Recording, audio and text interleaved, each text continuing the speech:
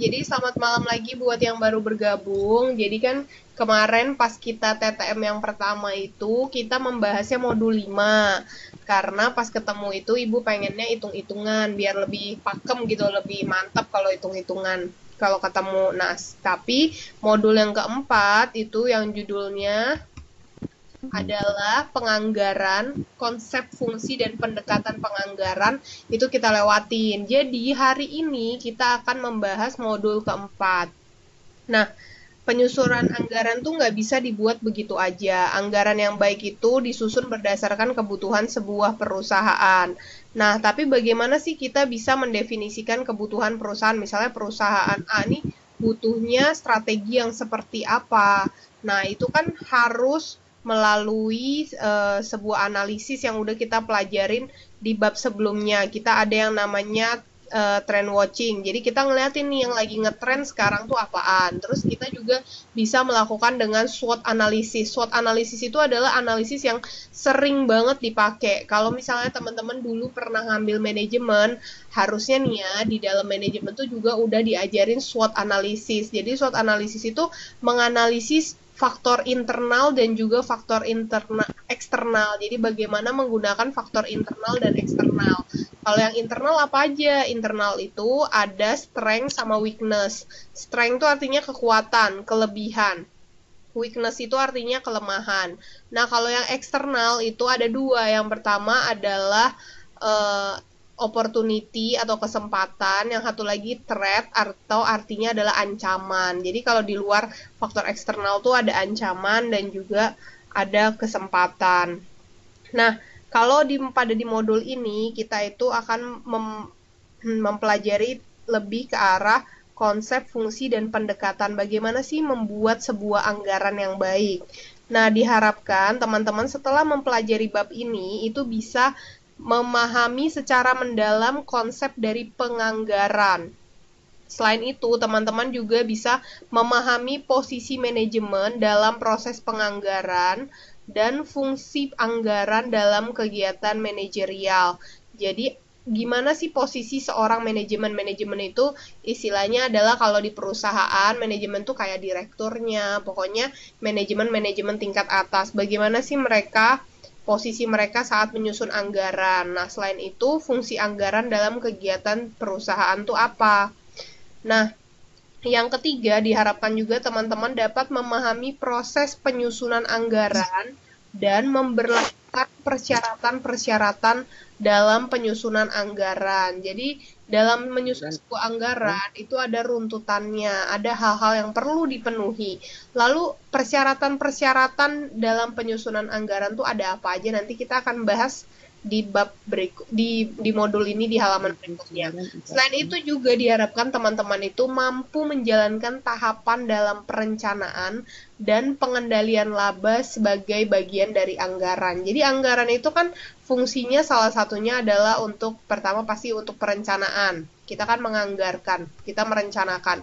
Selain itu anggaran juga sebagai pengingat kita. Jadi kalau misalnya kita udah ngeset nih anggarannya 100 ribu, kalau udah sampai 95 ribu udah bunyi tuh alarmnya waduh anggaran udah mendekati batas anggaran. Jadi sebenarnya fungsi dari anggaran tuh salah satunya juga adalah sebagai pengendali. Nah, kalau di sini pengendali laba itu maksudnya adalah target laba yang mau kita capai.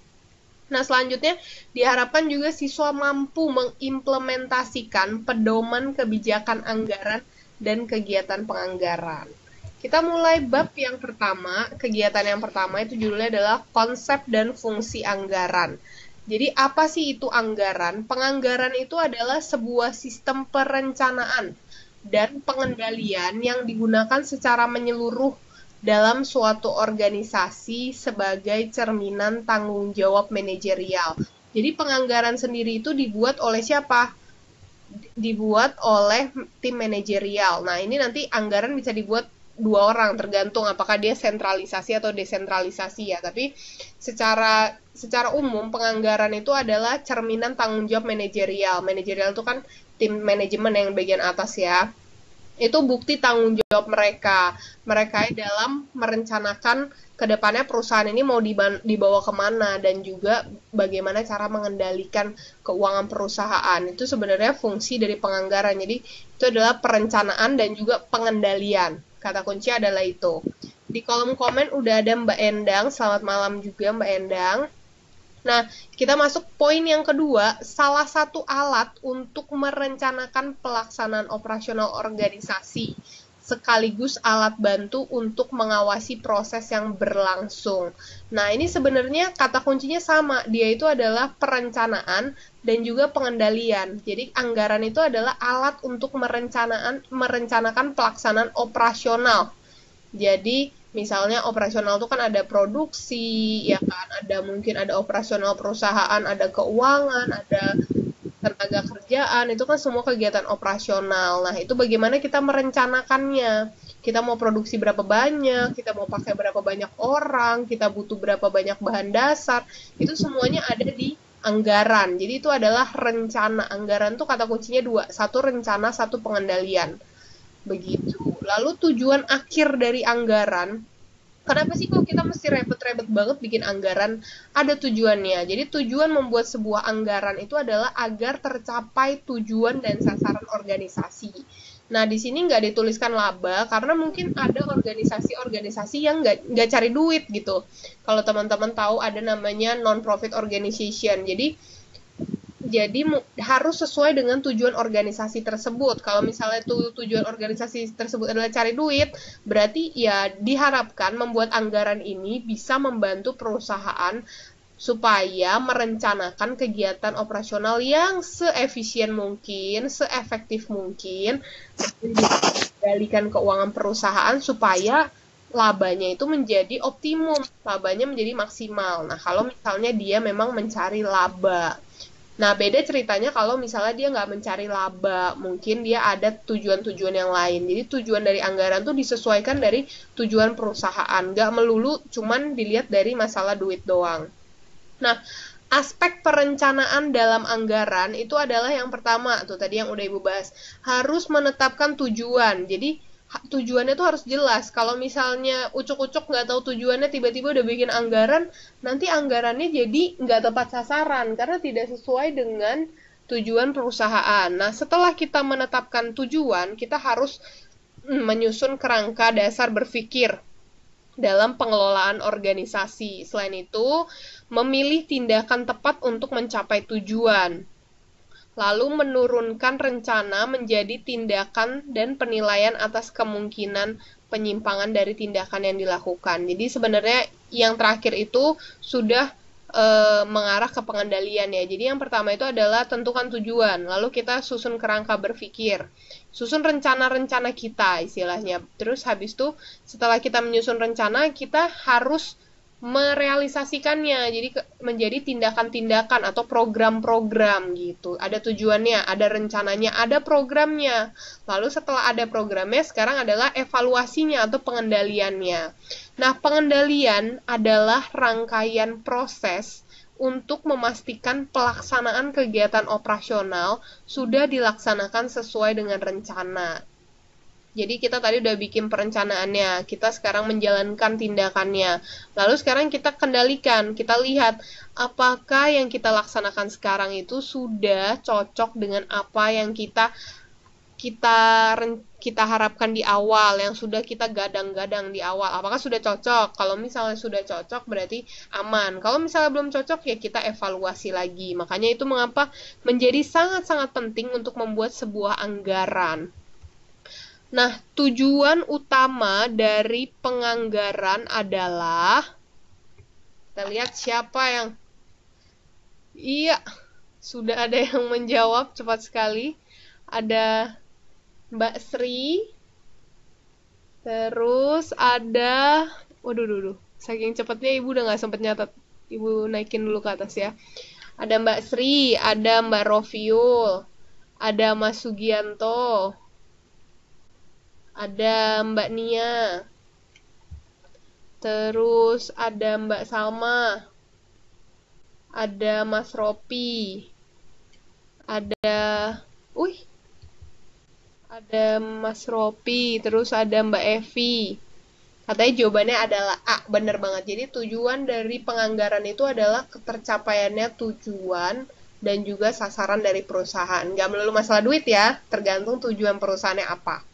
Lalu yang berikutnya adalah proses untuk memastikan pelaksanaan kegiatan operasional sudah sesuai dengan perencanaan disebut dengan Tadi kan Ibu bilang, jadi sebenarnya dalam anggaran tuh rohnya ada dua. Istilahnya apa ya? Bukan roh kayak uh, uh, aspek ya. Aspeknya ada dua istilahnya. Eh, jawabannya keluar. Iya, udah banyak juga yang ngejawab ya. Ya, sebenarnya jawabannya adalah pengendalian. Tadi kan Ibu bilang kalau dalam perencanaan, e, kalau misalnya dalam anggaran tuh ada dua jiwanya deh. Peren, yang pertama adalah perencanaan, yang satu lagi adalah pengendalian. Nah, di sini udah ada Mbak Sri Handayani, ada Mbak Rofiul, ada Mas Sugianto, ada Mas Ropi, terus ada Mbak Nia, terus ada Mbak Endang, Lalu ada Mbak Salma, ada Mbak Evi. Oke, kita lanjut. Nah, selanjutnya kita akan membahas apa sih fungsi dari manajemen. Manajemen itu dapat diartikan sebagai proses merencanakan, mengorganisir, mengarahkan, dan mengendalikan kegiatan untuk mencapai tujuan organisasi dengan menggunakan sumber daya organisasi. Jadi kan sumber dayanya itu terbatas, makanya kita perlu tim manajemen yang akan merencanakan sumber dayanya. Misalnya ada orangnya berapa, bahan bakunya berapa, mau pakai alat apa, itu kan perencanaan. Setelah itu di organisasi, misalnya orang ini lu taruhnya di sini, orang ini lu taruhnya di sini, ya kan? Setelah di organisasi kita arahkan, apakah ini semua orang Apakah ini semua orang sudah sesuai dengan job desk-nya masing-masing, sudah paham tentang tujuan perusahaan? Terakhir adalah kita pengendalian, itu adalah fungsi dari manajemen. Nah, dalam penafsiran manajemen itu ada beberapa kata kunci, yaitu yang pertama proses menentukan kegiatan yang direncanakan, perencanaan.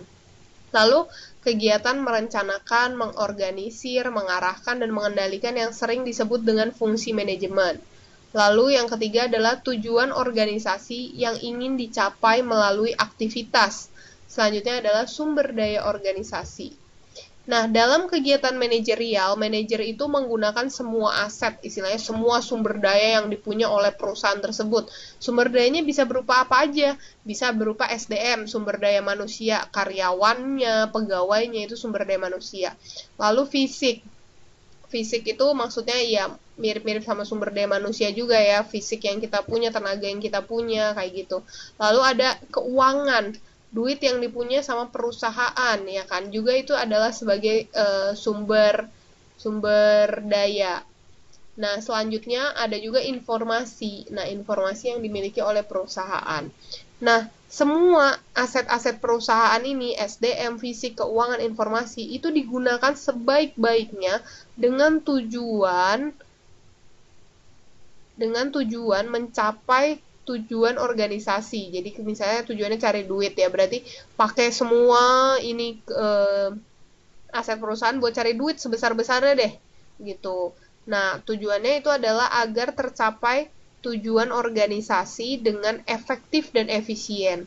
Efektif sendiri itu maksudnya adalah melakukan pekerjaan secara benar, mementingkan ketercapaian tujuan yang telah ditentukan. Jadi melakukan pekerjaan secara benar itu misalnya misalnya alat. Jadi dalam bekerja itu cuma ada dua dua pilihan doang. Kamu mengerjakan secara benar atau secara salah misalnya. Yang paling gampang kalau misalnya kerja kantoran, yang paling pertama kali dilakukan adalah apa? Menyalakan komputer. Nah, menyalakan komputer itu bisa dinyalakan dengan benar, bisa dinyalakan dengan salah ya kan. Jadi kalau misalnya kita menyalakan komputer dengan benar, itu kita sudah menyalakan komputer dengan efektif. Maksudnya seperti itu. Jadi melakukan semua pekerjaan secara benar. Nah, selain itu benar di sini juga itu harus mementingkan ketercapaiannya tujuan, tujuan dari organisasi ini ya, tujuan dari perusahaan ini. Nah, efisien sendiri itu adalah semakin kecilnya selisih antara tujuan dan tindakan uh, itu dan tingkat dan tingkat ketercapaian maka semakin efisien. Jadi tuju misalnya tujuan yang di awal kita tentukan kita pinginnya dapat laba 100 ribu. Lalu kita bisa mendapatkan laba misalnya perusahaan A dengan tujuan 100 ribu bisa mendapatkan 80 ribu. Nah, tapi perusahaan B bisa mendapatkan 95 ribu. Berarti kita bisa bilang adalah perusahaan B lebih efisien daripada perusahaan A. Karena perusahaan B ditargetin e, mendapatkan 100 ribu bisa dapatnya 95.000 sedangkan perusahaan A targetnya 100.000 cuma dapat 80.000. Nah, di sini di grafik ini ini ada oh ibu penyalain pennya dulu. Ini ada proses manajemen. Nah, proses manajemen itu terdiri dari empat tadi ya. Merencanakan, mengarahkan, mengorganisir, lalu pengendalian. Lalu di inputnya itu yang di inputnya ini yang terdiri dari STM, fisik, keuangan, dan informasi itu yang yang kita jadikan bahan untuk perencanaan, mengarahkan, mengorganisasi, dan mengendalikan. Nah, diharapkan melalui proses manajemen ini itu kita bisa menjalankan sebuah perusahaan dengan efektif dan juga efisien. Lanjut, aset organisasi yang tidak dapat dikendalikan langsung oleh manajemen, itu maksudnya manajer manajemen adalah sumber daya manusia, keuangan, sumber daya mineral, dan informasi. Jadi tadi kan seorang manajer, seorang manajemen perusahaan itu harus pintar-pintar mengolah sumber atau aset dari perusahaan. Asetnya itu terdiri dari apa aja? Yang pertama ada sumber daya manusia yang kita sebut dengan karyawan. Selain itu ada duit perusahaan, ada informasi yang dimiliki perusahaan. Udah pada pinter. Nah, ini jawabannya adalah uh, mineral. Jawabannya, wah ada Mbak Santi bangun ya. Kata Mbak Santi, jawabannya adalah sumber kecuali sumber daya mineral. Benar. Nah, ada juga teman-teman yang sudah menjawab di kolom komen. Ada Mbak Sri, ada Mas Cinta. Baru muncul nih Mas Cinta. Ada Mas Cinta, ada Mbak Nia, ada Mbak Rofiul, ada Mas Sugianto, Mbak Titin. Nah, ada Mbak Titin. Terus ada Mbak Evi, Terus ada Mbak Endang, ada Mbak Salma, ada Mbak Iya, abis. Oke. Okay. Halo Bu, tadi suara saya ada nggak Bu? Uh, ada Mbak Santi. Oh ini Mbak Santi apa Mbak Kusnul? Mbak Husnul Bu. Oh Mbak Husnul tadi suaranya nggak ada. Ya, nggak apa-apa ya Mbak Kusnul ya. Nanti di pertanyaan berikutnya. Oke. Kita lanjut. Nah, sekarang tadi kan kita sudah membahas proses manajemen. Jadi proses manajemen itu adalah proses yang saling berkaitan. Kalau misalnya kita lihat ini ada empat hal dasar yang tercermin dari ada empat hal dasar yang terlihat dari grafik ini. Ada perencanaan, ada pengorganisasian, ada pengarahan dan pengendalian. Nah, semua aspek-aspek proses manajemen ini saling berkaitan. Hal yang tidak terkandung dalam pengertian manajemen itu adalah merencanakan, mengarahkan, menetapkan tujuan, atau persaingan bisnis. D, Bu, persaingan bisnis. Iya. Ini Mbak Kusnul ya? Mbak Kusnul. Iya, Bu. Oke. Halo. Assalamualaikum. Waalaikumsalam. Ibu persaingan bisnis. Iya, ini Mbak Santi ya.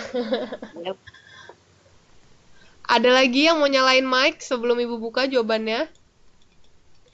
Kita lihat dulu teman-teman yang udah menjawab di kolom komen. Ada Mbak Sri, ada ada Mbak Nia, Mbak Salma, Mas Cinta, Mbak Rofiul, Mbak Evi, Mbak Titin, Mbak Endang, terus ada Mas Sugianto.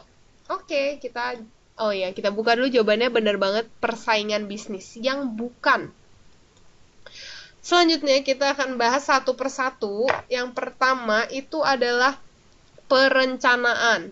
Nah, Perencanaan itu dapat diartikan sebagai kegiatan penerapan atau penentuan, penetapan tujuan organisasi. Jadi kegiatan perencanaan itu adalah kegiatan menentukan tujuan organisasi. Lalu setelah itu merencanakan langkah terbaik untuk mencapai tujuan tersebut. Udah ada nih tujuannya, gue tujuannya mau mencari duit. Nah sekarang langkahnya adalah gimana cara mencari uangnya gitu. Nah perencanaan sendiri dibagi menjadi dua. Yang satu adalah strategis, yang satu lagi adalah taktis. Kalau strategis, dia itu terfokus pada tujuan perusahaan secara umum dan berdampak pada seluruh fungsi manajemen. Kalau misalnya taktis, dia itu hanya mengembangkan kebijakan dan mencapai kinerja or, or, organisasi yang diinginkan oleh manajemen. Nah, kalau taktis ini dia tuh sifatnya lebih pendek dan juga fokus pada tindakan dalam organisasi yang mendapatkan delegasi wewenang. Istilahnya kalau strategis itu dia tuh cakupannya lebih luas, terus dia jangka panjang. Dia tuh fokus sama tujuan perusahaan secara general. Tapi kalau misalnya taktis itu tuh kebijakan-kebijakan yang e, dikasih ke misalnya manajer-manajer unit gitu kepada pihak-pihak yang berwenang. Dan dia tuh umumnya jangkanya pendek dan lebih kecil. Jadi dia itu tidak mempengaruhi keseluruhan perusahaan cuma mempengaruhi sebagian kecil aja dari perusahaan. Nah perencanaan yang disusun oleh manajer saat dianggap perencanaan yang lalu tidak memadahi adalah perencanaan apa? Di sini Wih, cepet banget. Halo, Bu. Iya, sebut nama dulu ya. Husnul Fatima. Oke. Jawabannya yaitu strategi dan taktis. Iya, benar. Jawabannya adalah strategi dan taktis. Selain Mbak Husnul, di kolom komen kita udah punya Mbak Sri, ada Mbak Nia, ada Mbak Evi, ada Mas Mbak Mbak Rofiul, ada Mas Cinta, ada Mas Sugianto, ada Mbak Titin, ada Mbak Endang, ada Mbak Salma, dan ada Mas Ropi. Iya, jawabannya benar banget adalah D, strategi dan taktis. Nah, yang kedua, fungsi dari sebuah manajemen itu adalah pengorganisasian. Kegiatan ini tuh mengkoordinasi seluruh sumber daya, tanggung jawab, dan otoritas di antara individu dan unit agar tujuan perusahaan dapat tercapai dengan efisien dan efektif. Nah, ini jadi pas pengorganisasian, susah banget ya, mengorganisasi itu uh, kegiatan gimana caranya kita ngatur-ngatur deh. Kita ngatur sumber daya mulai dari punya duit orangnya informasi kita atur. Terus kita bagi nih kan orangnya ada banyak di dalam perusahaan. Nggak mungkin cuma ABC doang tapi ada mungkin ada banyak ada 10 orang. Kita bagi-bagi. Kamu tujuannya kamu tugasnya marketing kamu tugasnya ngitung duit, kamu keuangan, kamu misalnya tugasnya IT, kamu ngurusin komputer.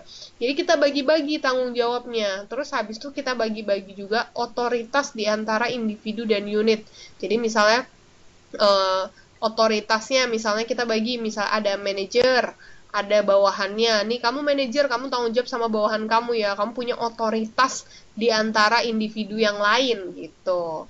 Nah, tujuannya gimana? Kalau misalnya kita nggak bagi-bagi tugas, anggap jangan kan kalau misalnya perusahaan, kalau kita kerja kelompok nggak bagi-bagi tugas, jadinya apa? berantakan ya kan amburadul nggak ngerti nggak ada nggak ada komunikasi nggak tahu siapa bikin apa nggak tahu siapa ngerjain apa ya kan makanya harus dibikin kita harus mengorganisasi memberikan tanggung jawab kamu tanggung jawabnya ini kamu ini kamu ini gitu supaya tujuan dari organisasi itu dapat tercapai dengan efisien dan juga efektif. Misalkan, setiap unit dibagi dalam departemen, lalu dipimpin oleh seorang manajer. Selanjutnya, yang ketiga, proses manajemen yang ketiga itu adalah pengarahan. Pengarahan itu adalah membuat dan memastikan setiap orang dalam organisasi akan bekerja untuk mencapai tujuan organisasi. Nah, para manajer harus mampu memandu personel di bawahnya melalui pengarahan, mempengaruhi, dan memotivasi. Tadi kan kita pertama itu perencanaan, udah nih nentuin tujuan, udah juga menentukan kegiatan apa untuk mencapai tujuan tersebut. Selanjutnya kita organisasi, kita distribusikan pekerjaan, kita gunakan uh, aset perusahaan secara maksimum. Nah, selanjutnya kita harus memberikan pengarahan. Nah, mungkin kan orang nggak semua orang paham. Jadi kita sebagai misalnya sudah nunjuk manajer, manajernya harus dapat mengarahkan anak buah anak buahnya supaya anak buahnya itu dia tuh tahu tujuan perusahaan tuh apa, lalu tindakan-tindakan yang diambil itu ya memang untuk mencapai tujuan dari perusahaan tersebut. Nah, selain mengarahkan, manajer tuh juga harus bisa mempengaruhi dan juga memotivasi anak-anak di bawahnya. Nah, selanjutnya ini adalah proses terakhir dari proses manajemen yaitu adalah proses pengendalian. Itu adalah proses mengukur dan evaluasi kinerja setiap unit. Nah, dalam fungsi pengendalian perusahaan itu dibagi bisa dibagi menjadi tiga. Yang pertama itu adalah pengendalian awal. Pengendalian awal itu disusun sebelum kegiatan operasional dilakukan. Ini adalah untuk menjamin aset telah disiapkan. Jadi misalnya kita lihat, wah kita sumber dayanya cuma ada segini. Nah, itu adalah salah satu tindakan pengendalian awal. Jadi di awal belum terjun ke bisnis itu, belum terjun kegiatan operasional setiap harinya, kita sudah melakukan pengendalian awal dengan cara misalnya melakukan pengecekan terhadap aset yang kita punya, lalu kita menggunakan ya sebanyak yang kita punya aja gitu. Karena kan kalau misalnya kita nggak mengecek dulu, kita nggak mengendalikan dari awal, kita nggak tahu kalau kita sebenarnya cuma punyanya segitu loh gitu. Takutnya nanti kita di tengah jalan baru tahu. Nah, tapi selain kita melakukan pengendalian di awal, di sebelum kegiatan operasional itu dimulai, kita juga bisa melakukan pengendalian berjalan. Pengendalian berjalan ini maksudnya adalah pengendalian yang dilakukan sepanjang proses dalam kurun waktu satu periode anggaran. Umumnya satu periode anggaran itu satu tahun. Jadi selama periode anggaran tersebut atau selama satu tahun itu kita tetap bisa melakukan pengendalian. Nah kita misalnya melakukan pengamatan secara langsung, lalu melaporkan kepada pihak manajemen. Tujuannya itu adalah untuk menjamin kebijakan dan prosedur telah dilaksanakan untuk mencapai tujuan. Jadi kita sambil jalan sambil melihat, misalnya kita lihat kayaknya orang ini kurang cocok udah ditaruh di sini misalnya. Lebih baik kita taruh orang ini di bagian marketing karena dia jago ngomong. Oh ya, itu kan berarti pengendalian selama masa berlaku. Nah, kita gimana taunya orang ini jagonya di marketing kalau misalnya kita belum mulai melakukan kegiatan operasional. Makanya kita perlu tahu kita perlu melakukan pengendalian berjalan dan juga pengendalian di awal karena ada beberapa hal yang kita nggak bisa tahu di awal. Jadi pas lagi sambil berjalan kita sambil melakukan pengendalian. Selanjutnya juga ada namanya pengendalian umpan balik. Nah ini dilaksanakan setelah kegiatan operasional berakhir atau kegiatan operasi berakhir. Nah ini terfokus pada hasil periode sebelumnya untuk menentukan pengendalian pada periode berikutnya. Jadi biasanya umumnya sebuah perusahaan itu tidak akan tahun ini tidak akan terlalu berbeda jauh dengan tahun lalu. Makanya kita bisa menjadikan tahun lalu itu sebagai pengalaman, istilahnya belajar dari tahun lalu deh. Kita misalnya belajar dari tahun lalu kita kurang orang, jadi kita harus menambahkan sumber daya manusia kita. Belajar dari tahun lalu di bulan-bulan yang sibuk keteteran.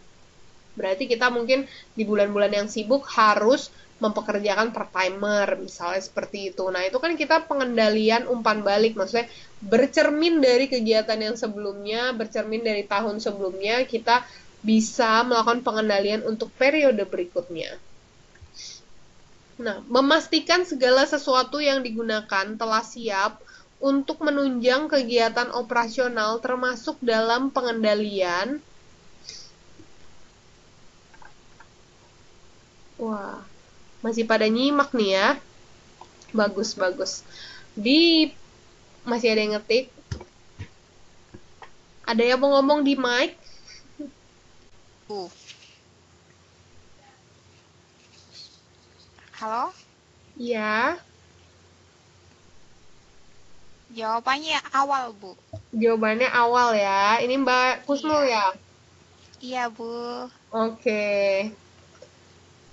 Nah, kita lihat di sini ada Mbak Sri Handayani, ada Mbak Evi, ada Mbak Rofiul, ada Mbak Salma, ada Mbak Nia, ada Mas Cinta, ada Mbak Endang, Mas Sugianto, Mas Ropi, dan Mbak Titin. Jawabannya adalah A. Yaitu adalah awal. Nah, bagi seorang manajer, anggaran dapat dimanfaatkan sebagai, tadi kan ada empat tuh, ada sebagai perencanaan, ada sebagai mengorganisasi, selanjutnya mengarahkan, selanjutnya adalah pengendalian. Nah, bagi seorang manajer, anggaran dapat dimanfaatkan sebagai apa? Kecuali, ada empat tadi ya. Ini Mbak Kusnu mau jawab lagi nggak? Ya pasti mau dong Bu. Oh iya. Jawabannya apa? Merumuskan strategi. Iya, merumuskan strategi. Biar nggak ngantuk ya, Mbak. Jawabannya adalah D. Nah, kita lihat di kolom komen. Nih, Bu sengaja nih kasih pertanyaan yang banyak biar jangan ada yang ngantuk. Ada Mbak Sri Handayani, ada Mbak Evi, ada Mbak Salma, Mas Cinta, Mbak Rofiul, Mas Sugianto, Mbak Nia, Mas Ropi, Mbak Endang, dan Mbak Titin. Katanya jawabannya adalah D dan tepat sekali. Kita lanjut. Yang selanjutnya kita akan membahas tentang manajemen strategi. Tadi kan kita udah bahas ya, strategi itu eh, dibagi jadi dua ya. Yang pertama strategis dan taktis, perencanaan strategi. Nah, in, saat ini tuh informasi dapat digunakan dan diperoleh dalam waktu yang singkat ya kan kita lihat sekarang mau cari informasi apa aja itu ada di internet singkat banget cuma tinggal ngetik di Google enter keluar deh semuanya nah selain itu organisasi karena kecepatan teknologi kecepatan informasi em, lingkungan bisnis dari sebuah perusahaan itu juga uh, berkembang sangat-sangat cepat, sangat-sangat kompleks, sangat-sangat dinamis ya kan. Itu semua karena adanya kemodernisasian zaman sekarang gitu. Makanya untuk memperkirakan masa depan itu harus ada pemikiran dan pengamatan yang jeli karena kita tahu hmm, lingkungan kita tuh sekarang berubahnya cepet banget. Mungkin dulu pas kita masih 5-6 tahun yang lalu kita nggak tahu kalau misalnya orang zaman sekarang tuh suka banget minum minum minuman kemasan. Kalau kita lihat di Indonesia tuh ya sekarang ngetren banget minum minuman kemasan. Mulai dari mau minum cat time lah, pokoknya semua cencunai ya kan di Indonesia sekarang dijual dan setiap hari itu semua orang minum itu. Dulu kita mana tahu ya kan. Tapi karena kecepatan bisnis, kecepatan persaingan, kecepatan dan tingkat kompleks kompleks yang sangat-sangat iya ya pokoknya sangat-sangat kompleks makanya terjadilah itu semua perubahan pergeseran ya kan? Kita nggak tahu kalau dulu yang ngetren apa tiba-tiba sekarang ngetren semua orang minum minuman kemasan. Makanya kita sebagai pelaku bisnis itu harus sangat-sangat jeli untuk mikirin dan juga mengamat melakukan pengamatan tentang kira-kira di masa depan nih yang ngetren apa nih ya kira-kira di masa depan yang masih bisa dijadiin peluang bisnis apa itu kita harus sangat-sangat jeli Nah, langkah-langkah membangun perkiraan di masa depan itu kita bagi menjadi empat. Yang pertama itu adalah perencanaan laba jangka panjang. Nah, kalau laba jangka panjang ini kita harus merumuskan strategi, melakukan perencanaan strategi, penyusunan program untuk menjalankan strategi. Jadi, selain itu kita juga harus mempunyai kita punya rencana jangka laba jangka panjang, kita juga harus punya perencanaan laba jangka pendek. Nah, selain itu kita juga harus tahu bagaimana mengimplementasikannya dan melakukan pemantauan dan pengendalian.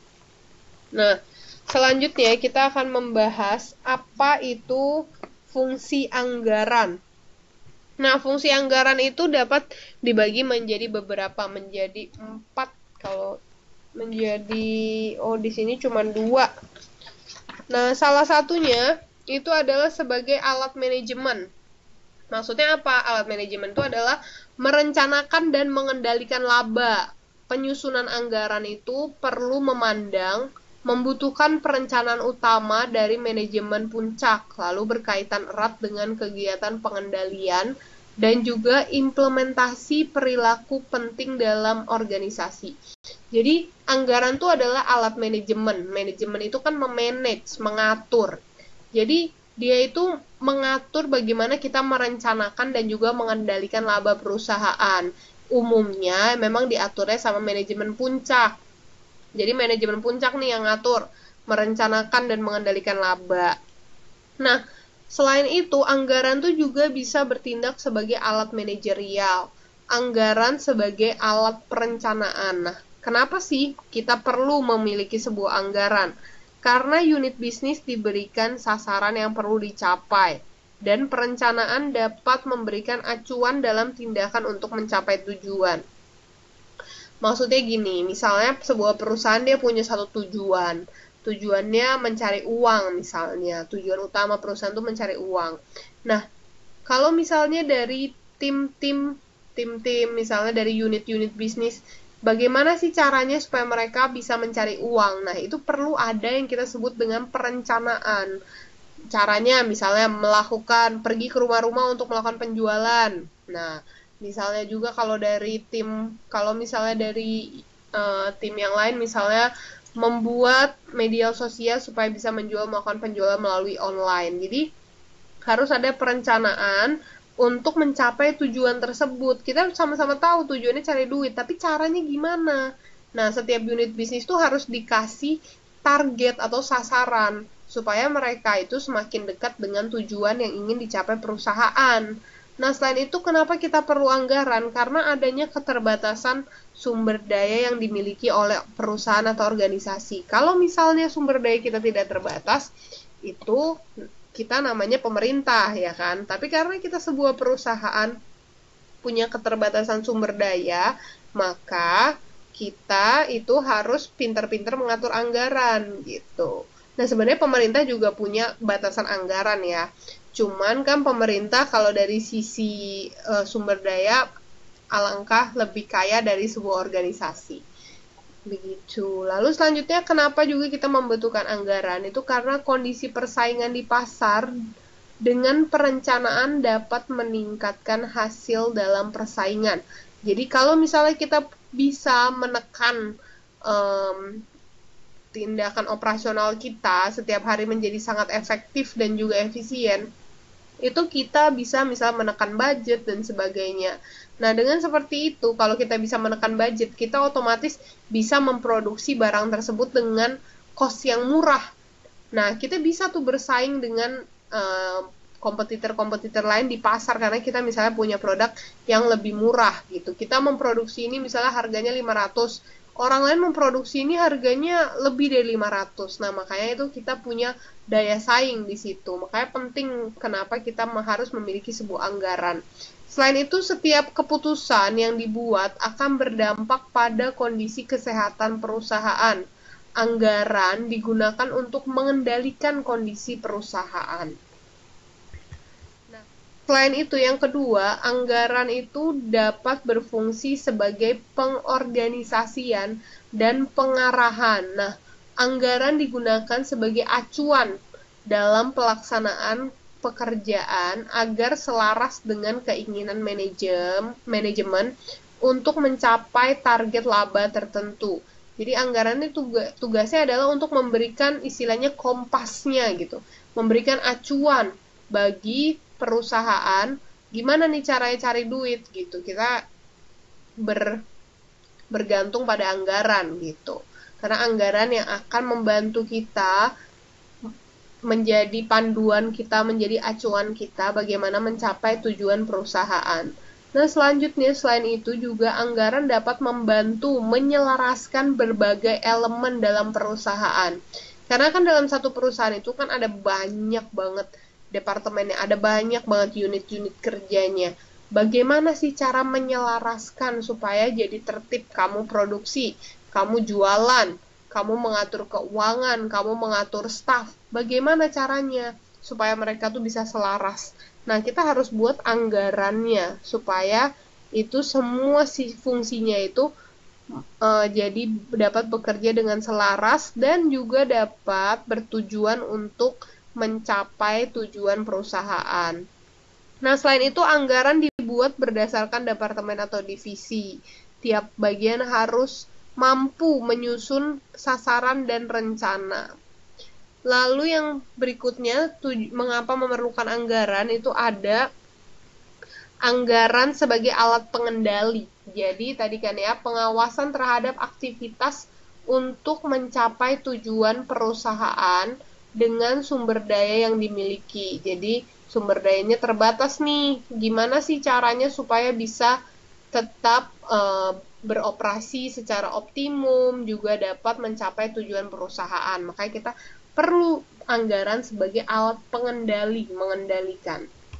Nah, selanjutnya kita akan membahas hakikat dari anggaran. Anggaran sendiri itu adalah sasaran penting dalam perencanaan dan pengendalian jangka pendek yang diharapkan dapat efektif dilaksanakan oleh organisasi. Jadi kan anggaran itu umumnya jangka pendek. Kenapa kita sebutnya jangka pendek? Karena umumnya anggaran itu dilaksanakan setiap tahun. Jadi kita membuat anggaran tuh setiap tahun. Makanya kita sebutnya jangka pendek. Nah, tadi kayak Ibu bilang di awal, anggaran tuh punya dua roh.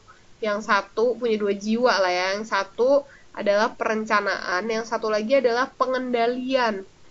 Tujuannya apa? Tujuannya yang pertama yang pasti mencapai tujuan perusahaan. Selain itu juga kita bisa melaksanakan kegiatan operasional perusahaan secara efisien dan efektif. Nah, ada karakter-karakteristik khusus dari sebuah anggaran. Yang pertama itu adalah memberikan gambaran pencapaian laba yang diharapkan dapat kita peroleh. Jadi misalnya dalam anggaran tuh kan pasti kelihatan kita pengennya dapat cuannya berapa duit nih. Nah, itu anggaran yang akan menggambarkan tingkat laba yang pengen kita capai.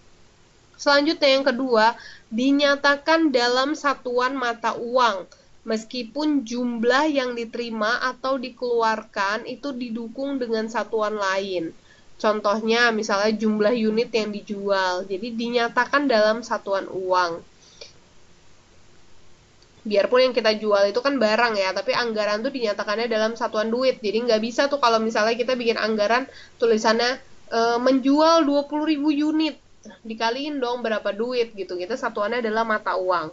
Nah, selanjutnya dibuat untuk jangka pendek. Nah, ini umumnya cuma satu tahun aja untuk bisnis yang bergantung pada musim itu tidak menutup kemungkinan kalau perusahaan akan menyusun lebih dari satu anggaran dalam satu tahun. Misalnya, kalau misalnya di Taiwan, itu mereka akan membuat, misalnya perusahaan baju nih, dia bakal membuat anggaran untuk pakaian baju musim panas, musim gugur, ya kan, musim dingin. Jadi tergantung dari musimnya. Nah, itu jadinya satu tahun perusahaan mungkin bisa bikin 2 sampai 3 anggaran. Jadi nggak menutup kemungkinan harus setahun cuma satu anggaran, nggak.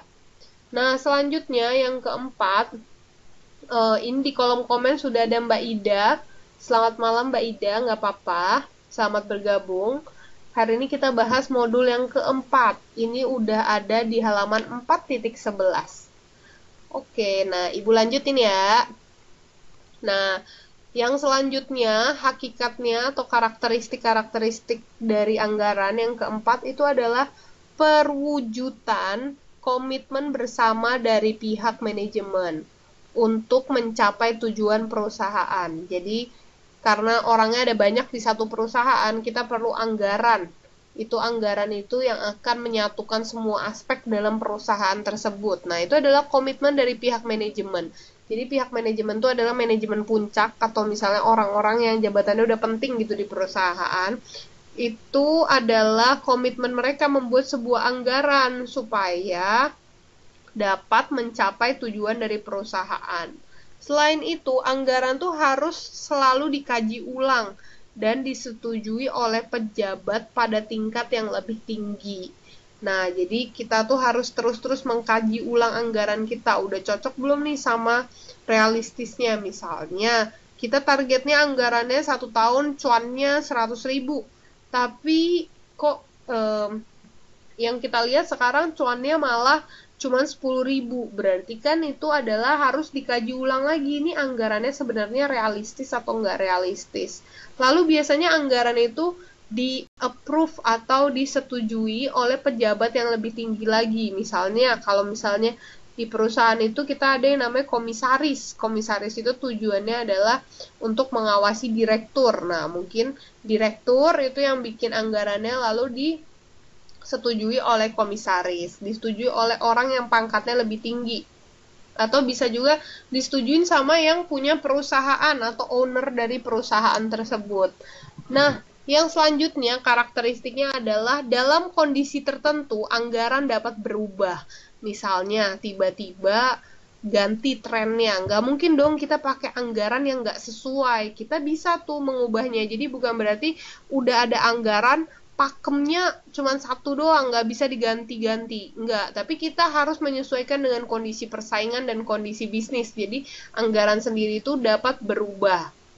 Nah, Selain itu, anggaran itu adalah pengkajian atau review dari varian.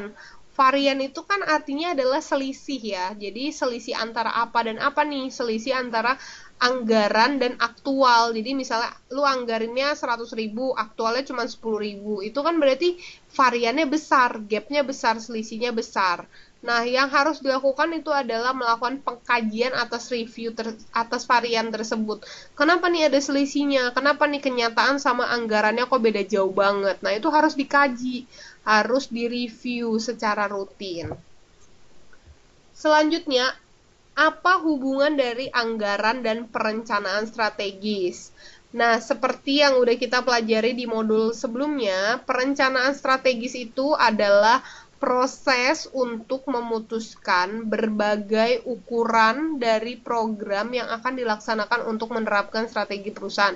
Intinya perencanaan strategis itu adalah bagaimana perusahaan nih netapin program-program atau menetapkan kegiatan kegiatan-kegiatan apa yang bakal kita pakai untuk mencapai tujuan dari perusahaan tersebut. Jadi misalnya tujuannya cari duit, kita misalnya pakai cara penjualan via door to door, penjualan via apa gitu. Nah, itu adalah perencanaan strategis kita. Jadi rencana kita kita tuangkan dalam kegiatan yang bisa mendekatkan kita dengan tujuan perusahaan. Nah, perencanaan strategis ataupun anggaran itu melibatkan perencanaan. Dua-duanya itu pakai perencanaan, harus direncanakan. Nah, kalau perencanaan strategis dia itu berfokus pada berbagai aktivitas yang dilaksanakan dalam setahun. Jadi misalnya setahun mau ngapain aja nih? Setahun misalnya mau mengembangkan bisnis door to door, mengembangkan teknologi misalnya selain door to door kita juga bisa mengembangkan teknologi online. Nah, jadi apa aja nih dalam setahun yang pengen di uh, yang pengen dilakukan? Nah, sedangkan kalau misalnya penyusunan anggaran dia itu berfokus pada satu periode akuntansi. Jadi kalau anggaran tuh lebih berfokus pada sebenarnya menganggarkan itu sebenarnya lebih ke arah menghitung ya. Jadi satuannya sendiri aja beda. Kalau stra perencanaan strategis yang bakal ditulis itu adalah kegiatan-kegiatannya. Kegiatan-kegiatan strategisnya. Nah, kalau misal anggaran tuh yang bakal dihitung kan kayak tadi ya, anggaran itu satuannya adalah mata uang. Jadi yang bakal dihitung adalah uangnya, duitnya gitu. Nah, pada dasarnya anggaran itu merupakan bagian dari rencana strategis. Jadi kita melakukan sebuah penganggaran itu adalah juga sebagai bagian dari rencana strategis. Rencana strategis itu nggak bakal bisa berjalan tanpa sebuah anggaran. Karena kan kita melakukan semua itu misalnya mau bikin sistem online, mau bisa uh, mengirim sales door to door, itu kan semua perlu duit ya kan. Jadi harus dianggarkan. Makanya kita bilangnya anggaran itu bagian dari rencana strategis. Rencana strategis itu uh, iya, jadi anggaran bagi rencana strategis. Selanjutnya, anggaran disusun berdasarkan pusat pertanggungjawaban. Sedangkan rencana strategis disusun berdasarkan program.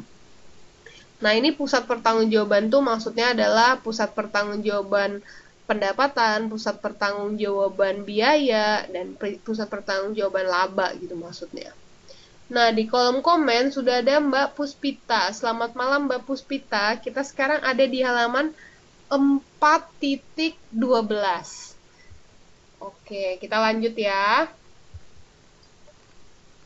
Hubungan antara strategis dan penganggaran adalah tidak ada hubungan Rencana strategis memuat anggaran, anggaran mendukung kegiatan strategis, rencana strategis mendukung anggaran.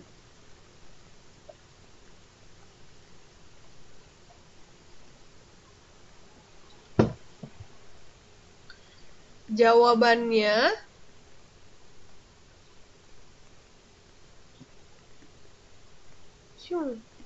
Jawabannya adalah B ya, kita lihat. Wah, terlambat. Mbak Kusnul ya tadi ya? Iya, Bu. Iya, nggak apa-apa Mbak. Eh, bukan. Apa Mbak jawabannya? Jawabannya adalah rencana strategis memuat anggaran. B. Iya, jawabannya tepat sekali. Nah, kita di kolom komen juga udah punya beberapa yang sudah menjawab. Ada Mbak Evi, Mbak Sri Handayani, Mbak Ida, Mbak Rofiul, Mbak Salma, Mbak Nia, Mbak Ropi, eh Mas Ropi, terus Mas Cinta, Mas Sugianto, wah itu laki-laki berderet semua. Ada Mbak Endang, dan Mbak Titin, sama ada Mbak Puspita. Oke, kita next. Anggaran dan prediksi. Jadi sebenarnya apakah anggaran itu sebuah prediksi? Apakah anggaran itu dan prediksi adalah dua hal yang sama? Sebenarnya tidak. Jadi anggaran itu tidak dapat disamakan dengan prediksi. Nah, anggaran itu adalah suatu rencana manajemen dengan asumsi bahwa berbagai tindakan terbaik dipilih oleh pembuat anggaran. Jadi anggaran tuh ya ada asumsinya. Jadi bukan seolah-olah tiba-tiba muncul tuh angka 100 ribu, muncul angka-angka angka berapa, itu semua ada asumsinya. Asumsinya tuh apa? Asumsinya misalnya nih ya, pertumbuhan ekonomi. Asumsinya misalnya tingkat inflasi. Jadi semua tuh ada asumsinya, bukan tiba-tiba utuk-utuk muncul duit 100 ribu, muncul angka 100 ribu, itu nggak kayak gitu. Tapi anggaran tuh ada asumsinya. Sedangkan kalau misalnya prediksi, itu kan kita seolah-olah kayak menerka masa depan ya. Jadi nggak ada asumsinya. Jadi prediksi itu biasanya kayak tiba-tiba bangun tidur kepikiran wah kayaknya bisnis ini tuh bakal bagus nih ya. Itu adalah prediksi. Kita nggak punya asumsi dari itu. Nah kalau misalnya kita melakukan anggaran itu ada asumsi base gitu berdasarkan dari asumsi nah kalau prediksi sendiri itu dia memiliki e, beberapa karakter yang sangat berbeda dengan anggaran yang pertama Tadi kan kalau anggaran tuh ada batas waktunya ya, karena dia kan harus diupdate terus berdasarkan asumsi. Kalau prediksi tuh nggak ada batas waktunya. Mungkin kita memprediksi untuk hari ini, untuk besok, untuk 10 tahun ke depan, jadi nggak ada batasan waktunya. Selain itu, di selain dalam satuan moneter, jadi produk eh, prediksi itu nggak cuman bisa disajikan dengan satuan uang. Jadi prediksi itu bisa juga disajikan dengan satuan non moneter. Maksudnya uh, saya prediksi kira-kira ke depannya akan ngetrennya adalah apa? Misalnya akan ngetrennya baju warna-warna terang. Itu kan prediksi. Satuannya bukan uang ya kan? Kalau anggaran tuh rata-rata satuannya adalah mata uang. Nah, selain itu pembuat prediksi tidak bertanggung jawab untuk mewujudkan prediksi yang dia buat. Jadi kan kalau misalnya anggaran itu kan yang membuat anggaran itu bertanggung jawab loh untuk mencapai anggaran tersebut, untuk membuat kegiatan-kegiatan program-program yang bisa mendekatkan perusahaan untuk mencapai tujuannya. Kalau prediksi kan enggak, prediksi kan istilahnya kayak ramal meramal gitu ya. Jadi ya gue prediksi ntar tahun depan ngetren baju-baju warna terang ya. Gue nggak tanggung jawab lo ya kalau misalnya ntar tahun depan tiba-tiba yang ngetren baju warna hitam ya kan. Gue nggak punya tanggung jawab juga buat merealisasikan. Lagian gimana juga caranya merealisasikan? Masa semua orang gue suruh pakai baju warna terang gitu kan. Jadi prediksi itu sebenarnya sangat-sangat berbeda dengan anggaran. Selain itu prediksi tidak memerlukan persetujuan pihak yang lebih tinggi. Misalnya kita mau masih contoh yang sama kita mau memprediksi tahun depan yang ngetren baju-baju warna terang kita nggak perlu tuh minta approval, nggak perlu minta persetujuan dari pihak yang lebih tinggi. Kan bingung juga ya, siapa juga yang bisa nge-proof kalau ke depannya baju-baju warna terang yang bakal lebih ngetren ya kan. Jadi prediksi itu tidak perlu disetujui oleh pihak yang lebih tinggi. Sedangkan kalau anggaran itu perlu. Selain itu, prediksi tidak dap, uh, dapat segera diubah seketika ketika informasi baru menunjukkan adanya kemungkinan perubahan kondisi. Jadi bisa nih tiba-tiba kalau misalnya kita lihat market berubah atau market shifting, kita bisa merubah prediksi kita. Sedangkan kalau anggaran itu prosesnya akan lebih jelimet, akan lebih sulit. Nah, selain itu tidak memerlukan analisis atas varian yang terjadi. Jadi kalau misalnya anggaran kan kita perlu melakukan analisis. Kenapa nih anggaran sama aktualnya bedanya jauh banget? Tapi kalau prediksi kita nggak perlu melakukan analisis kenapa yang terjadi sama prediksi kita itu berbeda. Nah, yang bukan merupakan karakteristik dari prediksi adalah yang pertama, tidak membutuhkan analisis varian, yang kedua, tidak membutuhkan pengesahan dari pejabat yang lebih tinggi, yang ketiga, tidak hanya dalam bentuk satuan moneter, yang keempat itu adalah hanya berlaku dalam jangka pendek. Masih ada yang mau menjawab? Iya, kita lihat. Mbak Kusul mau jawab gak? Iya, Ibu baca yang di komen dulu. Jawabannya adalah D. Kita lihat siapa aja yang udah menjawab. Waduh, jawaban sebelumnya D juga ya, kecampur ya. Oh enggak, jawaban sebelumnya B. Ada Mbak Sri Handayani, ada Mbak Evi, ada Mbak Ida, ada Mas Sugianto, Mbak Rofiul, Mbak Salma, Mbak Nia, ada Mbak Puspita, Mas Cinta, Mbak Titin, Mas Ropi, Mbak Endang. Dan ada Mbak Yunia. Ada Mbak Yunia. Nah, ini karena udah ada 17 orang yang partisipannya, kita absen dulu aja ya. Kita absen buat yang hari ini. Wih, wih. Kita absen dulu.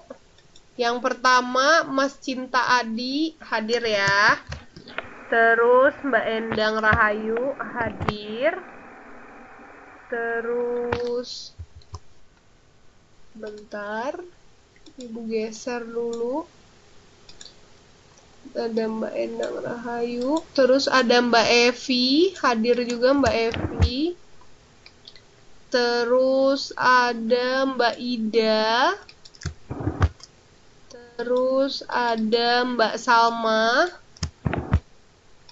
Mbak Salma, terus ada Mbak Kusnul. Tadi dari tadi di mic ya Mbak Kusnul ya. Terus ada Mbak Nia. Nia. Terus ada Mbak Puspita. Ada Mbak Rofiul. Terus ada Mas Ropi. Terus tadi Mbak Santi Bangun ada hadir. Lalu ada Mbak Sri Handayani, ada Mas Sugianto, ada Mbak Titin, dan ada Mbak Yuniah ya.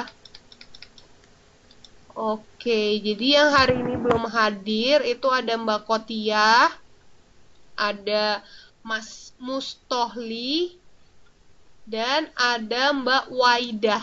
Tiga orang ya temennya ini jangan lupa diingetin ya, ada Mbak Kotia, ada Mas Mustohlih, susah banget namanya. Terus ada Mbak Waida. Mbak Waida masih bulan madu ya di Indo ya. Oke, nanti kalau misalnya tiga orang ini hadir, nanti ibu absen lagi ya. Oke, kita lanjut. Hasil prediksi yang tidak perlu disampaikan kepada manajemen puncak adalah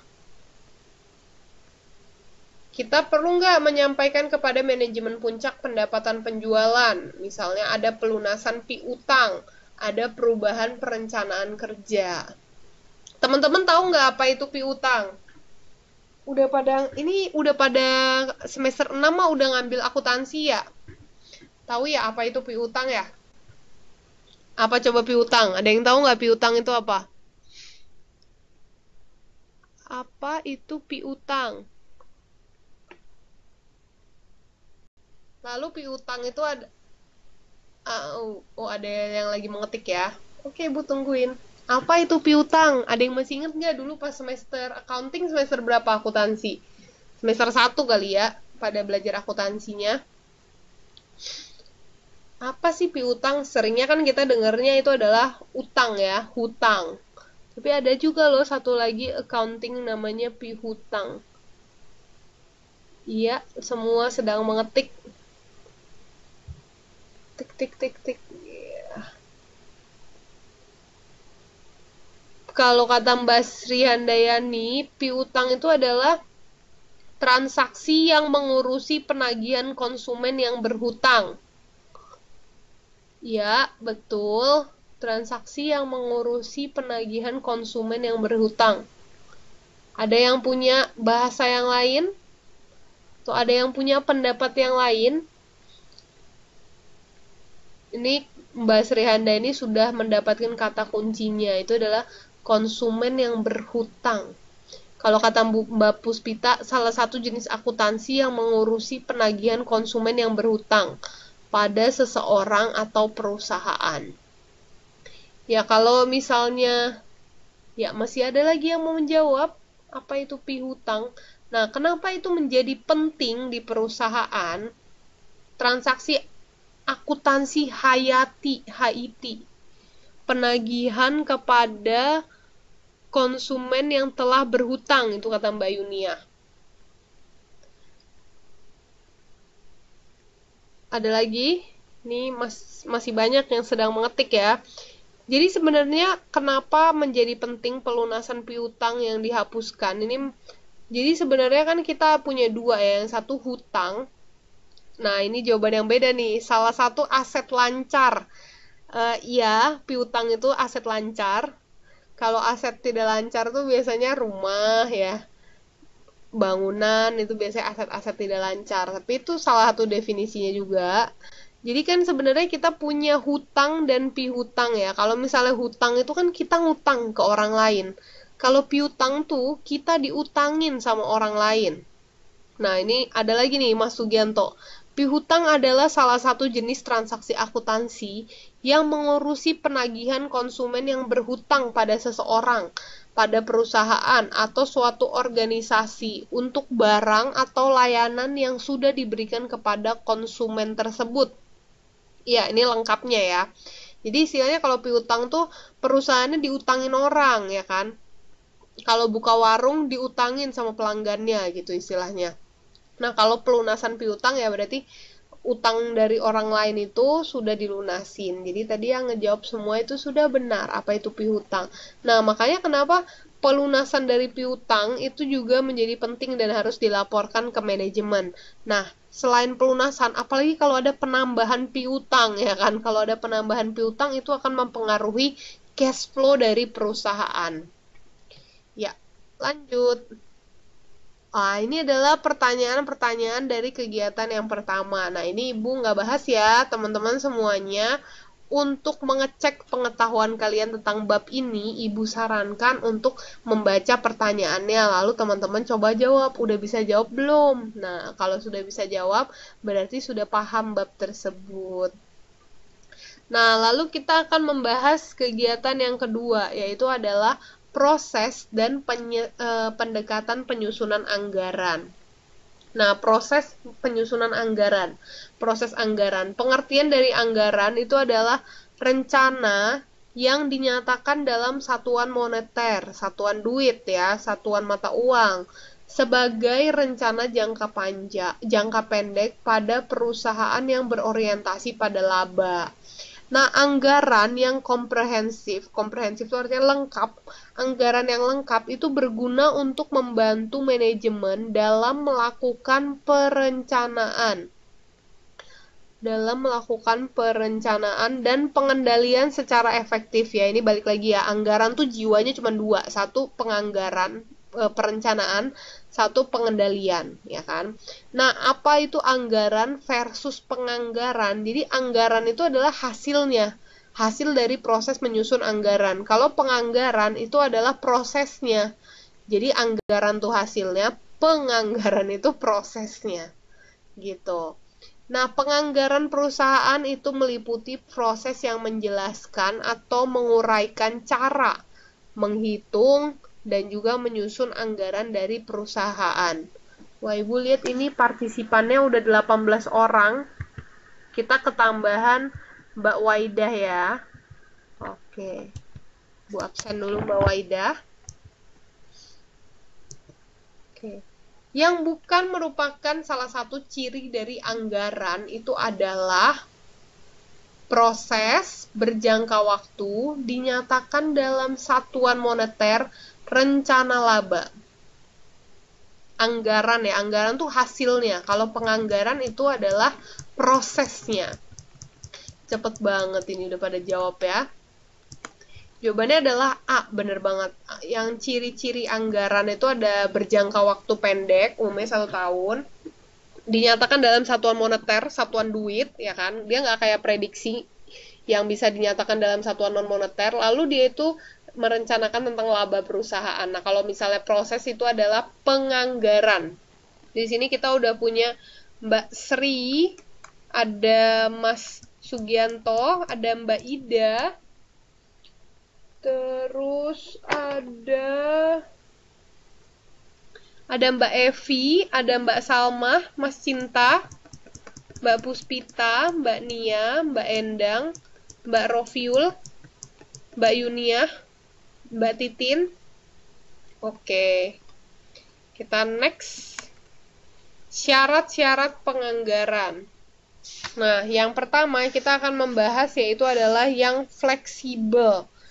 Jadi, anggaran yang baik itu adalah anggaran yang memenuhi beberapa syarat di bawah ini. Nah, salah satunya itu adalah fleksibel. Jadi, dia memberikan peluang bagi manajer untuk melakukan sedikit perubahan atau penyesuaian atas rencana atau proses yang sudah ditentukan. Diharapkan dapat menangkap sebanyak mungkin peluang, biarpun peluang tersebut tidak tertangkap di awal. Jadi misalnya kita rencana awalnya mau bikin bisnis door to door, tapi setelah kita lihat-lihat kayaknya bisnis online lebih cuan deh, tapi pas zaman itu mungkin bisnis online belum internet masih mahal semua orang masih ke warnet ya kan? Jadi akses internet nggak semudah itu. Tapi pas kita tiba-tiba lihat muncul handphone semua orang punya handphone semua orang bisa mengakses internet. Biarpun di awal kita nggak merencanakan bisnis dengan internet tapi karena kejelian dari manajer itu melihat wah kayaknya bisnis dari internet boleh juga nih. Nah jadi anggarannya bisa fleksibel. Tadinya awalnya cuma bisnis door to door. Nah, kita juga bisa menganggarkan uang untuk membangun bisnis online. Gitu. Jadi diharapkan anggaran yang baik itu bisa fleksibel sesuai dengan perubahan di pasar. Supaya biarpun di awal kita nggak merencanakan mau bisnis online, tapi karena kejelian dari manajer, akhirnya kita di tengah jalan kita tambahin tuh bisnis online gitu. Selain itu, syarat anggaran yang baik itu harus realistis jadi tidak berpikir atau tidak bertindak terlalu pesimis. Realistis itu nggak boleh terlalu pesimis. Dan tidak juga sangat optimis. Misalnya, kita tahun lalu tingkat penjualannya, kita tahun lalu misalnya bisa jual 5.000 produk satu tahun. Tiba-tiba tahun ini mau jual 500.000 produk, ya kan? Jauh banget dari 5.000 sampai 500.000 Nah, itu itu namanya tidak opti bukan itu namanya terlalu sangat optimis gitu. Terlalu optimis sampai jadi nggak realistis. Orang tahun lalu cuma bisa 5000 tiba-tiba tahun ini mau 500 ribu. Gimana caranya ya kan? Alatnya nggak siap orang yang nggak siap nggak ada juga yang mau beli. Nah kalau misalnya kayak gitu terlalu optimis itu malah bisa-bisa menjadi bumerang buat perusahaan. Karena kan kalau e, awalnya kita cuma bisa memproduksi 5000 sekarang mau memproduksi 500.000 itu kan berarti harus nambah orang harus nambah bahan baku. Nah kalau misalnya rupanya kita nggak siap untuk memproduksi segitu banyak rugi dong. Bahannya udah dibeli udah nge-hire orang baru ya kan? Padahal sebenarnya itu nggak realistis. Tapi nggak boleh juga terlalu pesimis. Misalnya tahun lalu ngejualnya 5000 tahun ini kita misalnya targetnya 1000 itu mah pesimis banget ya kan jadi anggaran yang baik itu harus realistis nggak boleh terlalu pesimis dan nggak boleh juga sangat optimis Nah, selanjutnya anggaran yang baik itu harus berkelanjutan. Seiring dengan perubahan waktu, lalu adanya dinamika persaingan yang terus berubah, rencana dan strategi perusahaan juga harus disesuaikan. Harus disesuaikan dengan misalnya kondisi bisnis yang ada di pasar gimana, persaingan juga pada kompetitor kayak gimana, itu harus disesuaikan. Nah, jika Anda ingin mengubah strategi, kriteria yang dibutuhkan adalah lebih realistis, melihat pesaing utama, lebih hemat, komitmen dari pemimpin. Wah, yang tadi jawabannya A juga ya? Campur ya. Tadi yang terakhir Mbak Titin. Berarti di sini mulai dari Mbak. Kita lihat dulu jawaban yang benar adalah A. Ada Mbak Sri Handayani, Mbak Evi, Mbak Puspita, Mbak Ida, Mas Sugianto, Mbak Salma, Mbak Endang, Mbak Rofiul, Mas Cinta, Mbak Yunia, ada Mbak Nia, dan juga ada Mas Ropi. Jawabannya adalah A.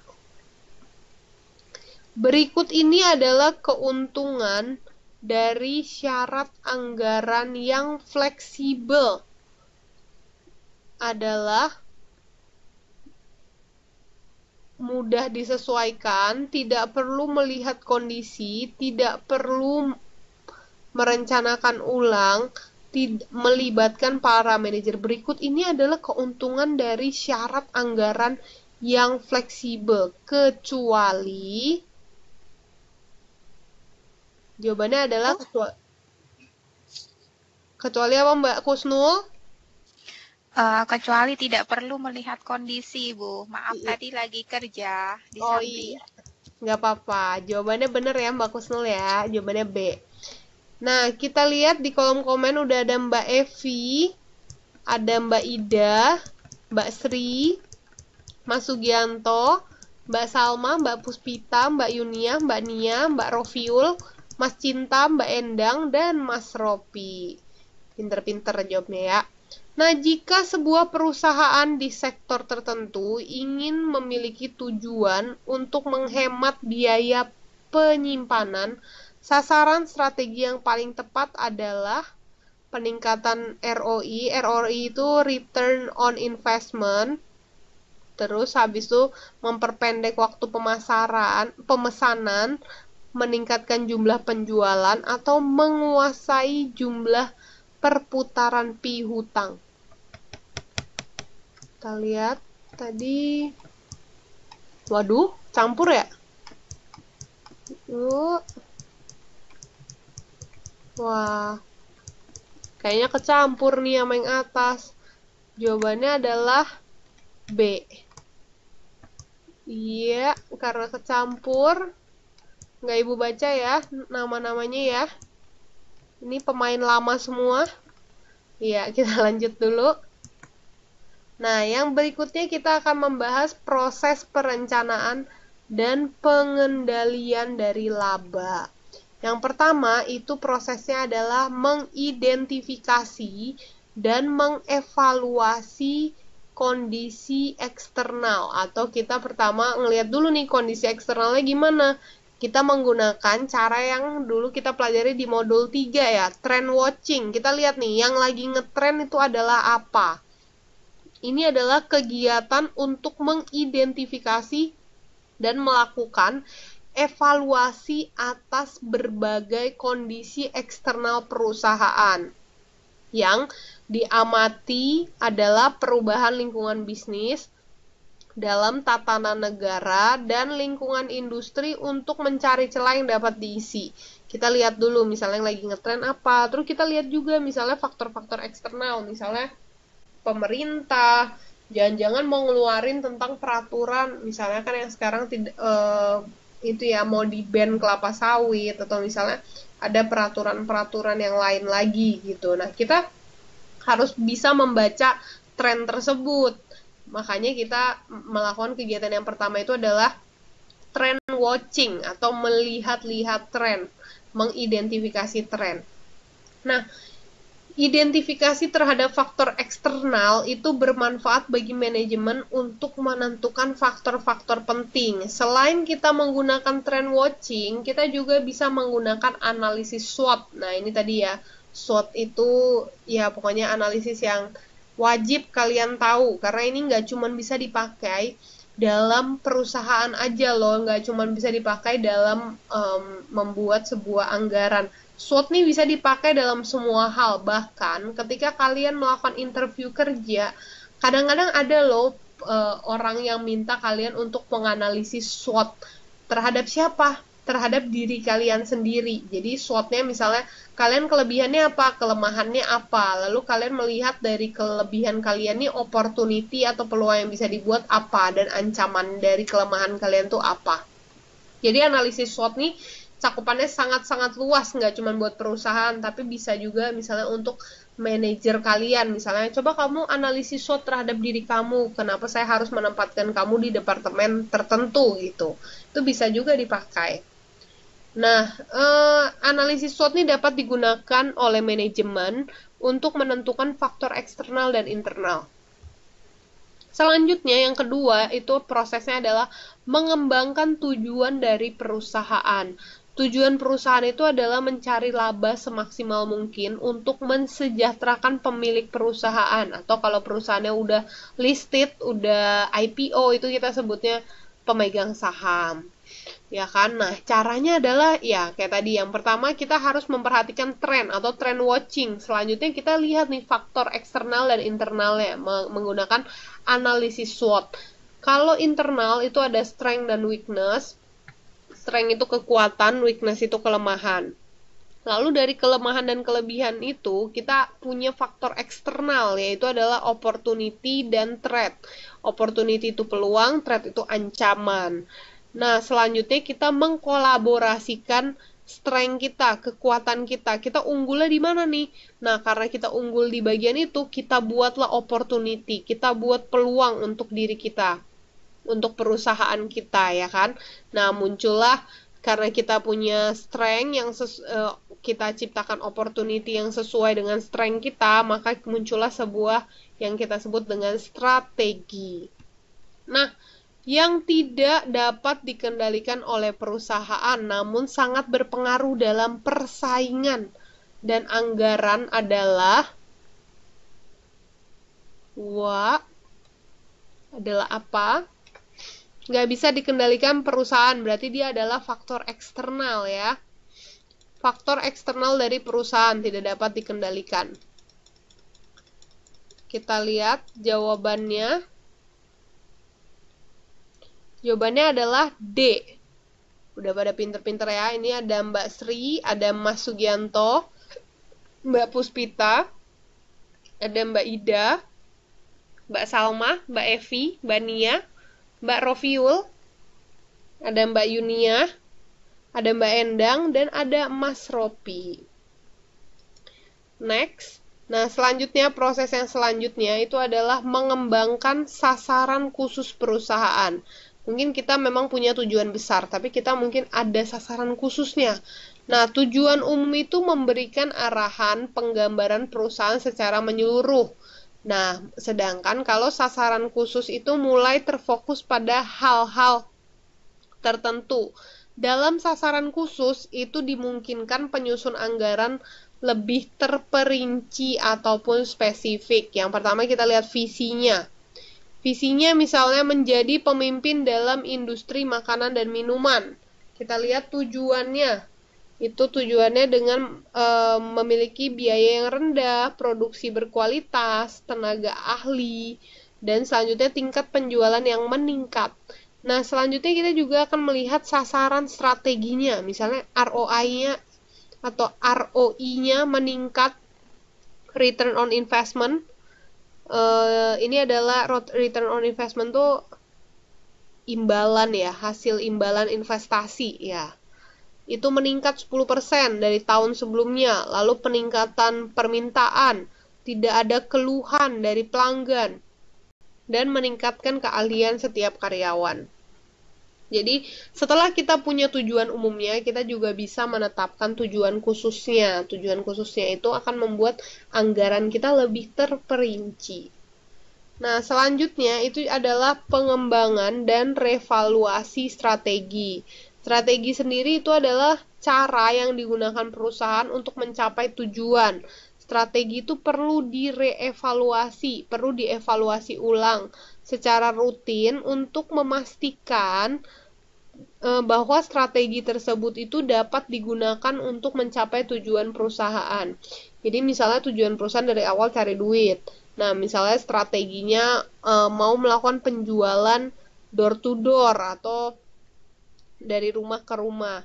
Nah, kita lihat kondisinya. Kita harus evaluasi. Sekarang lagi zamannya online nih, berarti kita harus misalnya dievaluasi kita membangun sistem online gitu. Jadi strategi sendiri tuh nggak ada yang namanya satu strategi untuk selamanya, tapi strategi itu harus bisa dievaluasi, diperbaiki, lalu di-adjust berdasarkan diubah berdasarkan kondisi saat ini, persaingan dan kondisi bisnis. Nah, kriteria untuk melakukan revaluasi strategi itu ada beberapa. Yang pertama, rencana tindakan harus selaras sehingga membentuk satu kesatuan tindakan. Kalau misalnya udah tidak selaras, berarti harus uh, direvisi. Nah, selanjutnya tindakan harus realistis ya. Nah, tadi kan kalau misalnya terlalu optimis atau terlalu pesimis itu nggak baik. Selain itu, berorientasi untuk menyelesaikan permasalahan yang dihadapi dan mencari peluang dalam persaingan. Kita melakukan revaluasi strategi itu kan tujuannya adalah menyelesaikan permasalahan tertentu. Jadi jangan malah membuat masalah baru ya. Dan juga kita bisa mencari peluang dalam kondisi persaingan yang ada di market saat itu. Selanjutnya, itu dapat menyelesaikan permasalahan utama dan sub-sub permasalahan utama. Lalu dapat meningkatkan nilai produk dan layanan kepada pelanggan. Selanjutnya, yang kelima itu adalah perintah dari manajemen pusat untuk menyusun rencana. Nah, biasanya manajemen puncak itu akan memberikan tanggung jawab kepada manajer. Manajer-manajer unit, kamu bisa membentuk sebuah perencanaan. Nah, ini tujuannya seperti yang kita sudah pelajari di bab-bab selanjutnya sebelumnya ya. Kalau manajer-manajer unit yang membuat e, perencanaan itu mereka akan lebih paham tentang perusahaan. Itu juga meningkatkan partisipasi manajer tersebut, ya kan? Selain itu juga manajer tersebut itu adalah orang yang sangat paham tentang bisnis tersebut, tentang unit tersebut. Makanya sangat cocok. Nah, selain itu saat menyusun anggaran itu mereka dapat belajar, belajar tentang proses bisnis perusahaan. Karena kan nanti uh, para para manajer manajer yang udah lebih senior yang udah tua akan pensiun. Nah kalau misalnya manajer-manajer baru yang muda nggak belajar dari sekarang mereka akan kehilangan kesempatan untuk belajar. Nanti malah nggak ada yang bisa meneruskan kalau misalnya yang manajer-manajer lamanya udah pada pensiun. Nah Selain itu kita punya nama al, nama sebuah eh, ini adalah alat itu adalah namanya cascading. Nah, sebenarnya alatnya itu bukan bentuk alat berat ya, tapi ini seperti kayak hmm, salah satu cara yang biasa digunakan oleh manajemen puncak untuk mengkomunikasikan sasaran dan strategi atau proses sistematik untuk menginternalisasikan visi misi keyakinan dasar dan strategi perusahaan. Intinya adalah bagaimana manajer puncak dapat memberitahu semua karyawannya, eh ini loh ya, gue punya strateginya kayak gini, tujuannya untuk mencapai tujuan ini gitu. Nah, tapi ini prosesnya proses yang sistematik, maksudnya tersistem gitu prosesnya untuk memberitahu kepada internal apa sih visi perusahaan, misinya apa, keyakinan dasarnya apa, lalu selain itu strateginya apa. Jadi itu adalah caranya. Nah, alat apa yang digunakan untuk mengkomunikasikan sasaran dan strategi pemimpin kepada pihak yang lebih rendah? Alat apa?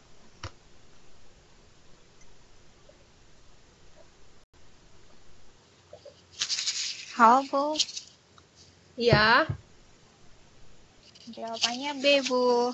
Jawabannya B ya, Mbak ya. Iya. Iya. Kita lihat udah ada di kolom komen.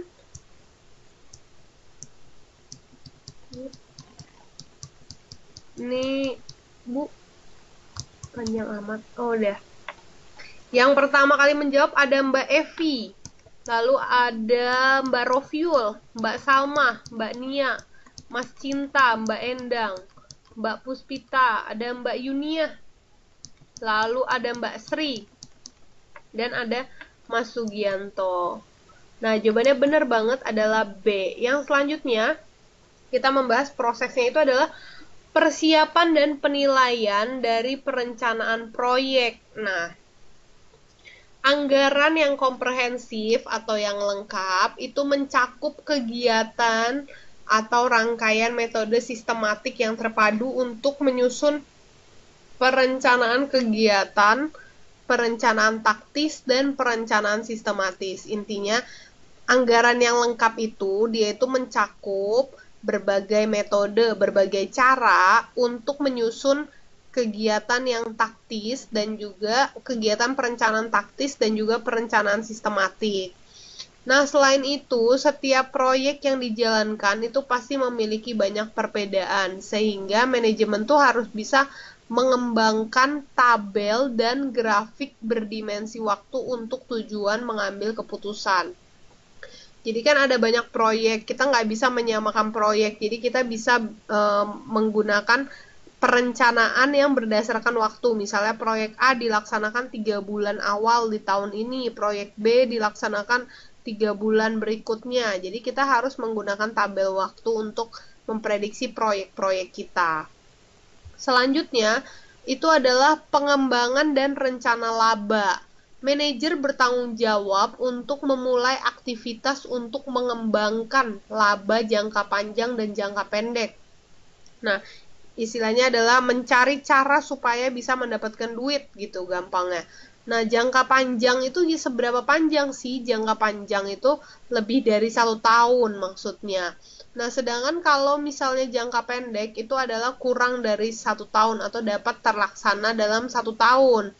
Nah, kalau yang jangka panjang sendiri, dia itu akan menjadi rangkaian yang utuh dari seluruh rencana.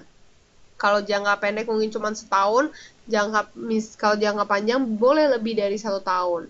Nah, rencana itu mencakup seluruh bidang aktivitas utama, mulai dari penjualan, harga pokok dan laba, selanjutnya ada proyek yang berukuran besar dan penambahan investasi modal yang perlu dilakukan.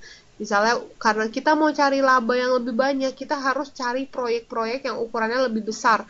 Nah, proyek-proyek yang ukurannya lebih besar, modalnya lebih besar. Karena modalnya lebih besar, harus ada tambahan duit, ya kan?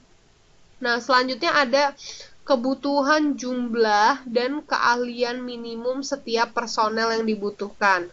Semakin maju sebuah perusahaan, itu akan semakin adanya tuntutan uh, untuk karyawan perusahaan tersebut memiliki keahlian khusus, misalnya kalian-kalian yang nggak bisa digantikan oleh uh, oleh komputer. Nah, makanya semakin berkembangnya perusahaan itu karyawannya harus semakin pintar gitu. Nah, selanjutnya juga ada informasi mengenai kondisi persaingan dan analisisnya.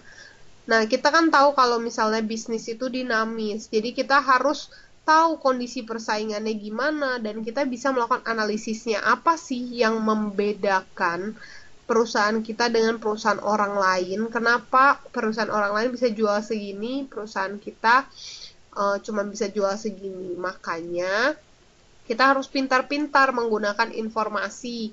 Lalu kita menganalisis bahwa uh, menganalisis apa yang menjadi perbedaan antara perusahaan kita dan perusahaan orang, kenapa dia bisa lebih maju dari kita dan sebagainya.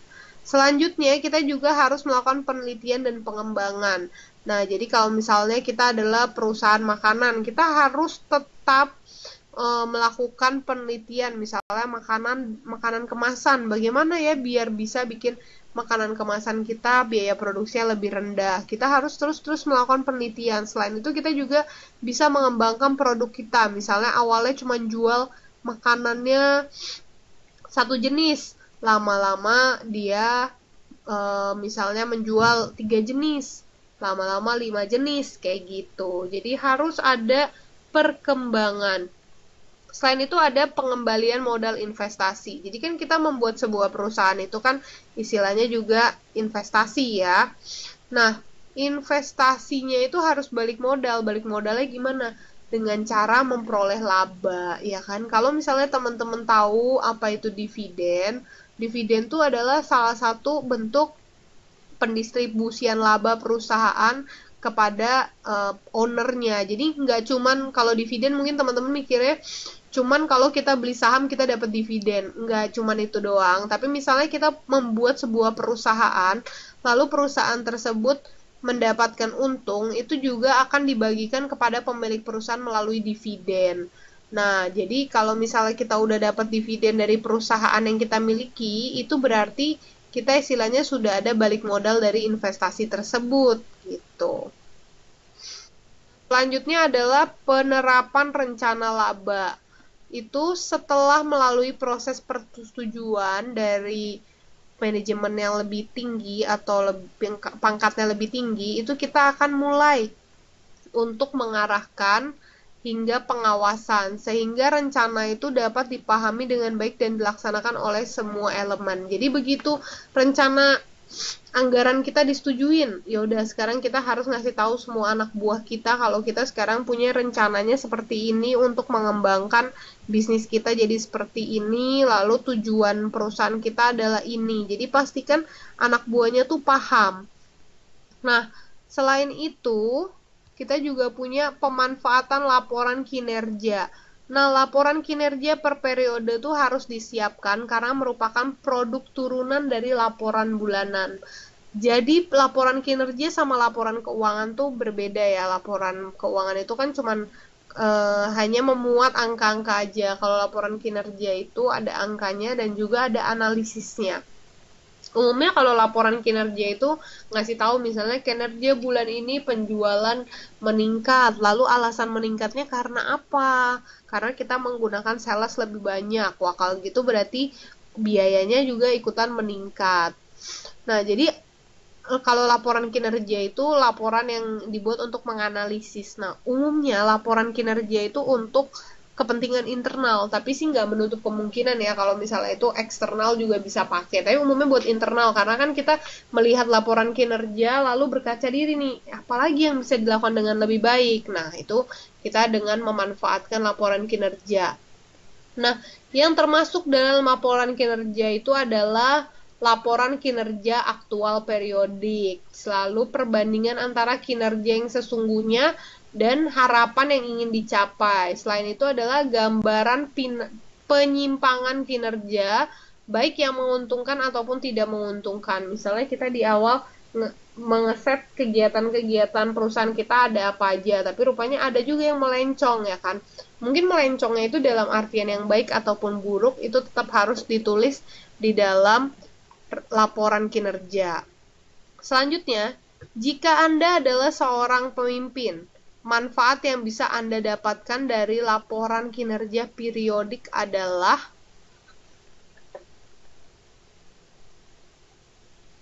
Iya, udah banyak yang kom kolom komen. Halo, Iya. Jawabannya sih, Bu. Menentukan supplier. Iya, menyatukan supplier. Kita lihat di kolom komen, itu tadi Mbak Kusnul sudah menjawab di mic.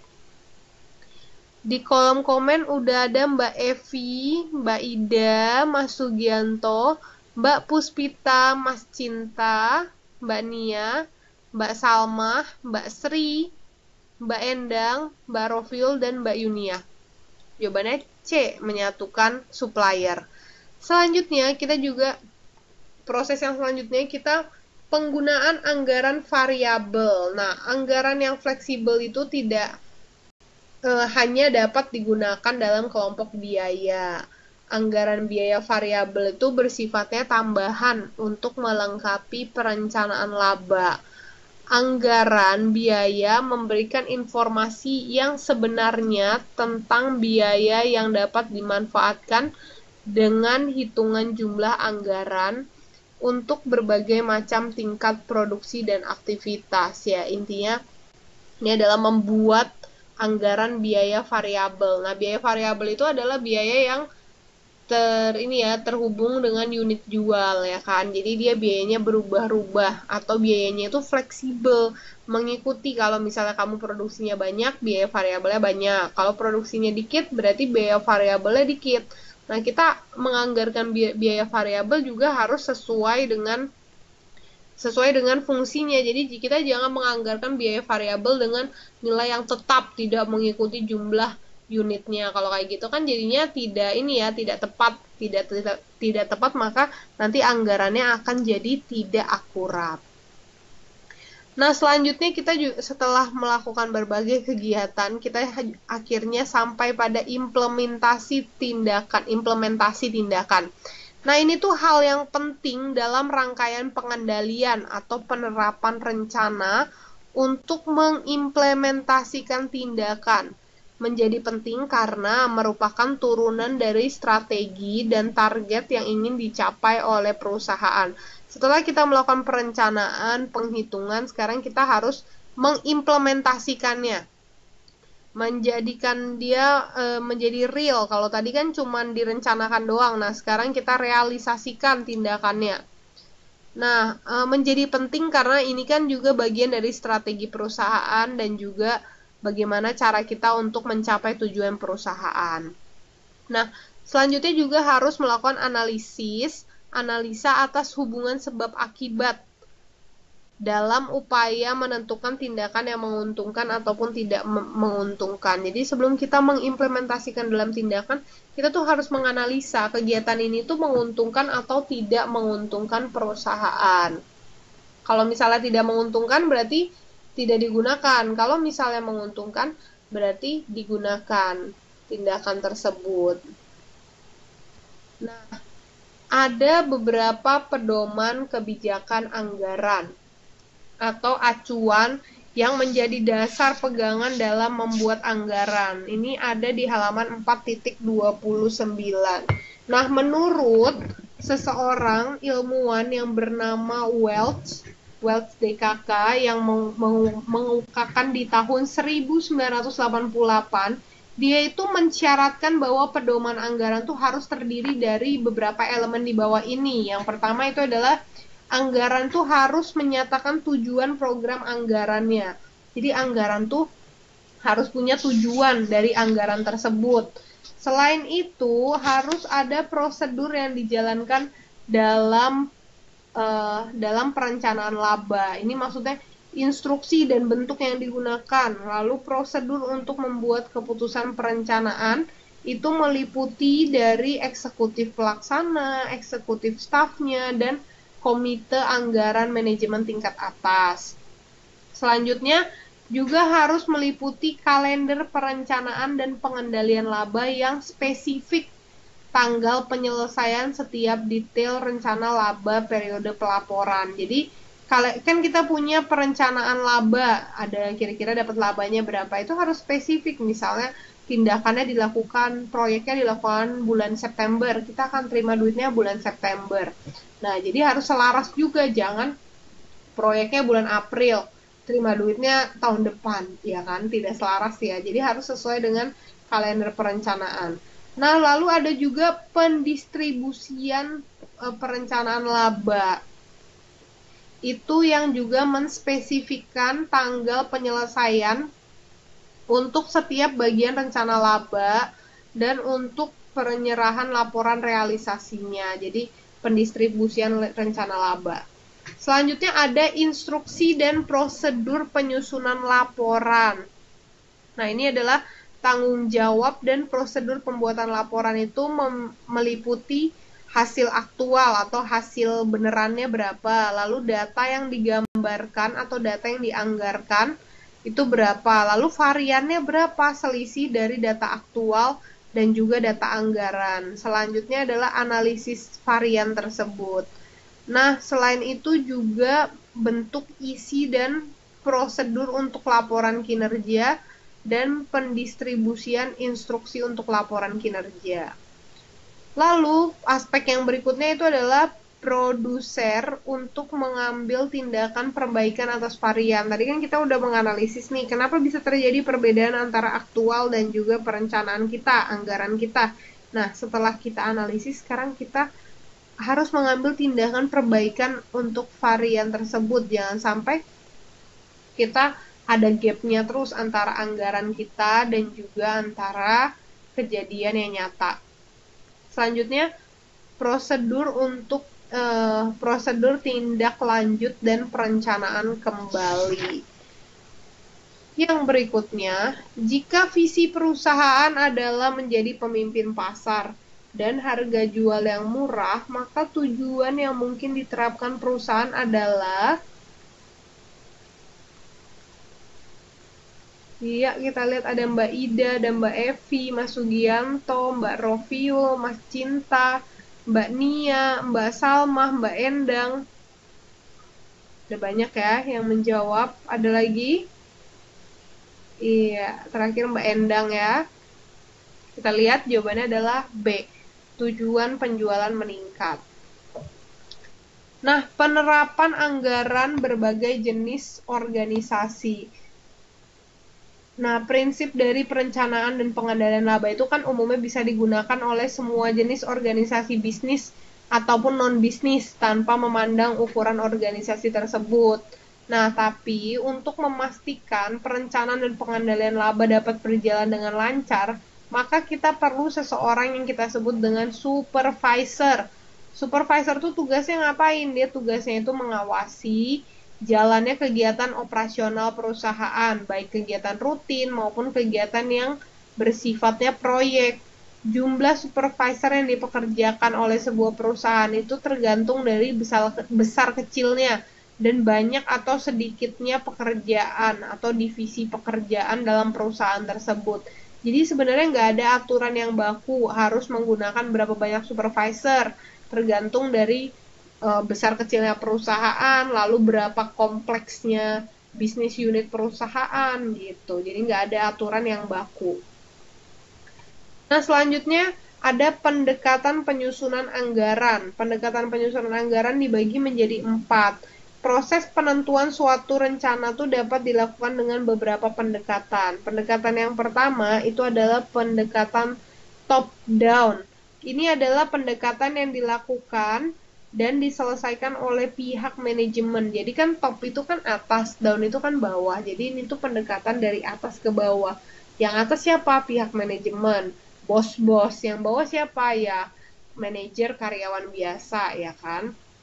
Jadi dengan pendekatan ini istilahnya adalah bosnya yang bikin anggaran. Jadi perintahnya tuh turun dari atas ya kan. Atau bisa kalau misalnya dia sistemnya desentralisasi atau manajer-manajer unit berhak menentukan anggaran itu tetap perintahnya dari atas lalu didistribusikan perintahnya ke bawah nanti baru manajer unit itu yang buat. Tapi perintahnya selalu datang dari atas karena ini top down.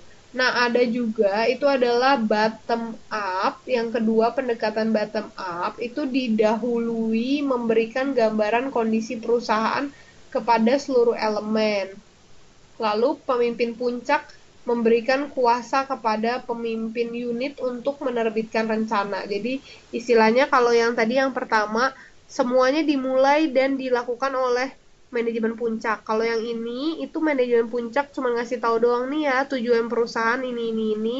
Kamu manajer setiap unit boleh bikin bebas. Jadi lebih fleksibel kalau misalnya cara yang ini. Nah, selanjutnya ada yang kita sebut dengan pendekatan campuran. Sebenarnya sangat sedikit ya perusahaan yang pakai cuman benar-benar top down ataupun bottom up. Eh, rata-rata dari mereka itu menggabungkan dua sistem ini. Jadi campuran ya istilahnya. Dia itu uh, pendekatan murni top and down tuh jarang ditemui. Umumnya menggunakan perpaduan dua pendekatan tersebut. Nah, ini diinisiasi dengan penyampaian penu, pen, petunjuk perencanaan oleh manajemen puncak lalu dijabarkan oleh bisnis unit masing-masing. Nah, selanjutnya adalah pendekatan kelompok. Pendekatan kelompok ini maksudnya hanya akan melibatkan kelompok tenaga ahli dalam penyusunannya. Misalnya kita kan udah bahas di bab sebelumnya, ada beberapa perusahaan yang membentuk divisi perencanaan. Jadi divisi penganggaran itu semuanya dibentuk oleh tim tersebut. Jadi mereka tuh istilahnya departemen terpisah. Departemen itu gunanya buat apa? Ya bikin anggaran aja tiap tahun ya kan. Kalau nggak bikin anggaran, bikin rencana strategis.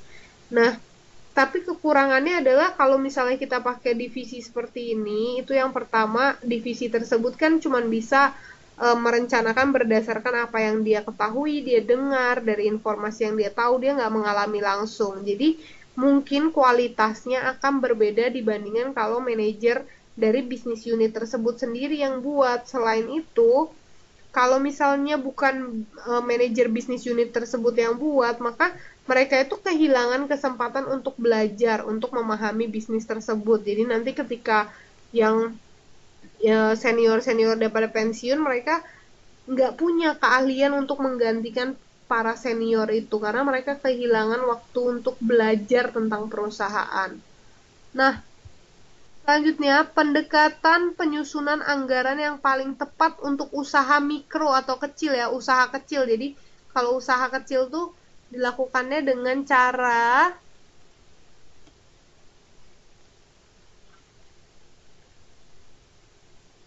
Iya,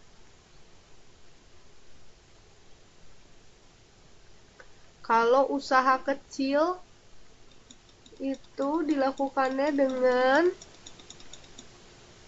kita punya Mbak Evi, kita punya Mas Sugianto, ada Mbak Salma, Mas Cinta, Mbak Nia, Mbak Endang, Mbak Rofiul, Mbak Ida, Mbak Puspita, Mbak Yunia. Jawabannya adalah ya top down. Jadi kenapa kalau perusahaan kecil tuh top down? Karena sebenarnya kan perusahaannya skalanya kecil ya. Jadi nggak perlu sampai nyuruh manajer manajer unit. Karena nggak ada manajer unit. Mungkin adanya cuma yang punya sama karyawannya. Mungkin kalau misalnya bikin usaha restoran yang punya sama karyawannya. Jadi kalau misalnya yang bawahnya cuma ada karyawan misalnya tukang masaknya terus ada waitersnya ya mereka juga nggak tahu apa-apa tentang perusahaan maksudnya nggak tahu perencanaan nggak tahu anggaran. Jadi mendingan yang buat me, uh, ini aja ownernya atau manajemen manajemen puncak. Begitu. Selanjutnya sistem penyusunan anggaran ini dibagi menjadi empat juga. Nah sistem anggaran tradisional itu disusun berdasarkan kelompok dan jenis pengeluaran yang dilakukan oleh sebuah perusahaan. Kelompok dan jenis biaya biasanya bersifat konstan, namun angka untuk jenis tertentu itu bisa berubah dari tahun ke tahun. Sistem anggaran yang tradisional ini cocoknya untuk perusahaan-perusahaan yang udah mature atau misalnya udah mapan gitu istilahnya sehingga dapat dipastikan kelompok dan jenis biaya yang akan terjadi. Nah, selanjutnya adalah sistem penganggaran hasil karya. Ini tuh disusun berdasarkan target-target yang ingin dicapai dalam satu tahun itu. Jadi akan berubah setiap tahun. Misalnya sebagai contoh, sebuah perusahaan ini memproduksi barang dengan biaya yang sudah ditentukan. Maka berbagai unit akan saling berkoordinasi untuk dapat mewujudkannya. Misalnya udah di set nih, kita bakal ngejual produk ini harganya 10.000, berarti semua unit harus bisa mendukung supaya harga barang tersebut 10.000. Misalnya dari tim bahan baku harus cari bahan baku yang gimana, dari tim misalnya pembuatan atau produksi harus buat yang seperti apa supaya cocok gitu harganya kan. Nah, selanjutnya ada juga yang uh, kita sebut sistem anggaran PPBS. Nah, ini atau kita sebutnya Planning Programming Budgeting System. PPBS. Ini biasanya digunakan oleh perusahaan-perusahaan besar yang udah mapan. Selain oleh perusahaan, biasanya sistem ini tuh digunakan oleh pemerintah dalam menyusun APBD ya. Nah, dasar dari penggunaan sistem ini itu ada ada rencana dan program kegiatan yang akan dilaksanakan oleh masing-masing unit. Jadi dasarnya adalah program dan rencana yang akan dilaksanakan oleh masing-masing unit. Sistem ini tuh terfokus pada program-program sehingga memudahkan manajemen puncak untuk mengalokasikan sumber daya perusahaan yang terbatas. Jadi udah diatur nih nanti dalam setahun kegiatannya apa aja. Nah, manajemen puncak akan sangat terbantu dengan menentukan prioritas program dalam upaya mencapai tujuan yang direncanakan. Ada tiga hal penting yang perlu diperhatikan ketika seorang manajer, manajer puncak memilih untuk menggunakan sistem ini. Yang pertama itu adalah tujuan dan sasaran yang ingin diraih. Selain itu ada ketersediaan sumber daya manusia. Lalu ada langkah yang akan digunakan. Nah, tapi ada kelemahannya menggunakan sistem ini. Jadi kan sistem ini itu terfokus pada program-program yang akan dilaksanakan satu tahun. Ya, ini cocok lah ya buat pemerintah kan. Mereka kan setiap tahun program-programnya beda-beda. Jadi cocok kalau pakai anggaran ini. Nah, tapi kelemahannya adalah kinerja untuk mengukur kinerja manajer itu akan jadi kurang adil. Kenapa? Karena kita akan menilai kinerja manajer itu dari selisih anggaran, anggaran yang tidak terpakai pada akhir periode. Jadi semakin misalnya e, menganggarkan 100 juta untuk melaksanakan 4 program, tapi 4 program sudah dilaksanakan, tapi anggarannya baru kepakai misalnya 90 juta. Nah, berarti kinerjanya lumayan baik, makanya bisa mengalokasikan bahkan sampai menghemat anggaran tapi menjadi tidak adil karena kan mungkin ada uh, manajer di di wilayah tertentu misalnya medannya memungkinkan. Tapi kalau misalnya ini di programnya dilaksanakan misalnya di Papua atau di daerah-daerah terpencil malah nanti dia over budget atau melebihi anggaran. Nah kalau misalnya melebihi anggaran berarti kinerja dari manajer tersebut jelek gitu. Padahal kan belum tentu. Ada banyak faktor yang bisa membuat uh, kenapa manajer tersebut bisa melebihi anggaran Nah, makanya disebutkan bahwa sistem ini tuh nggak adil buat manajer. Selanjutnya, sistem yang terakhir itu adalah sistem anggaran JBB atau uh, Zero Based Budgeting. Nah, ini muncul karena perbaikan dari sistem yang tadi ya, PPBS. PPBS tadi kan merugikan. Nah, sistem anggaran ZZB ini itu adalah menghubungkan antara proses perencanaan, pemrograman, dan perencanaan melalui dan penganggaran melalui evaluasi berbagai program yang telah ada ataupun yang sedang dilaksanakan bersamaan dengan program yang diusulkan. Perencanaan sistem ini tuh akan memulai tahun anggaran dengan e, dimulai dari nol meskipun ada sisa anggaran yang mungkin terjadi pada tahun sebelumnya itu akan dinyatakan hangus. Misalnya tahun ini anggarannya 100 juta baru dipakai 90 juta. Nah, tahun depan berarti masih ada sisa anggaran 10 juta dong. Nah, tapi kalau pakai cara ini JBB eh, JBB zero, zero based budgeting itu maka biarpun di tahun kemarin kita nggak pakai anggarannya habis, tahun ini akan dimulai lagi dari nol ya kan? Kayak di pom bensin ya, mulai dari nol. Jadi semua akan mulai dari nol. Makanya sisa dari anggaran tersebut tuh akan hangus Nah, sisa anggarannya itu akan dikembalikan ke dalam kas perusahaan. Pertanyaannya yang terakhir untuk hari ini nih ya, pertanyaannya yang dianggap tidak menguntungkan bagi manajer dalam penilaian kinerja adalah yang tidak menguntungkan. Wah, ini ada dua nih jawabannya yang tidak menguntungkan bagi manajer. Iya, jawaban jawabannya jawabannya D, Bu. Jawabannya D ya. Ya. Yang tidak menguntungkan bagi manajer. Iya, tadi yang nyimak yang tidak menguntungkan bagi manajer adalah Jawabannya adalah C. Biarpun di buku itu jawabannya D, tapi sebenarnya yang tidak menguntungkan itu adalah tadi ya PBBS. Kenapa? Karena manajer itu dihitungnya berdasarkan berapa banyak anggaran yang kepake. Padahal kan kadang ada medan-medan bisnis yang memang sulit, makanya anggarannya bisa berlebih gitu. Nah, di sini udah ada beberapa orang yang menjawab dengan benar. Udah ada Mbak Evi jawabnya benar, Mbak Sri jawabannya benar, Mbak Puspita jawabnya benar. Mas Cinta, Mbak Salma, terus ada Mbak Nia, Mbak Rofiul, Mbak Yunia, Mas Ropi, Mbak Endang, Mbak Sri, ya kan? Dan Mas Cinta. Jadi Ini nyimak ya tadi ya. Bagus. Selanjutnya ini adalah pertanyaan dari bab ini ya. Jadi seperti saran ibu di kegiatan pertama, jangan lupa membaca pertanyaannya supaya bisa ngetes.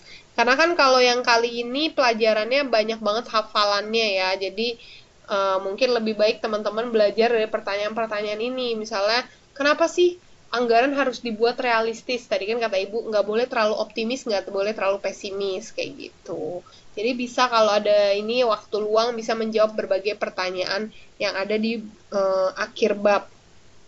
Nah, untuk hari ini gitu aja. Untuk hari ini bebas tugas, bebas absen juga. Jadi absennya tadi kurang dua orang ya. Ada Mas Mustohlin sama Mbak Kotiah mungkin ini kalau misalnya ada yang kenal boleh diingetin soalnya kalau misalnya dia nggak masuk lima kali nanti nggak boleh ikut ujian. Nah jadi tolong diingetin temennya ya yang nggak hadir. Soalnya ada yang sudah berturut-turut lima pertemuan nggak datang jadi harus datang di pertemuan berikutnya. Kalau nggak nanti nggak bisa ikut ujian dan gak lulus mata kuliah ibu. Begitu, jadi diingetin ya teman-temannya. Nah, selain itu untuk pelajaran hari ini masih ada yang mau ditanyakan lagi? Nanti mulai minggu depan kita akan berhitung. Buat yang udah bosen dengar ibu cuap-cuap, teori semua isinya, minggu depan kita akan berhitung. Begitu. Ada pertanyaan?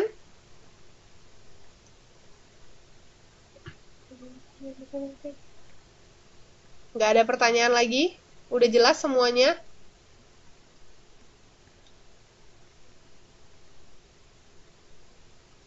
Kalau misalnya nggak ada pertanyaan lagi, nggak apa-apa. Nanti kalau kepikiran ada pertanyaan apa, boleh ditanya di grup atau misalnya PM Ibu ya.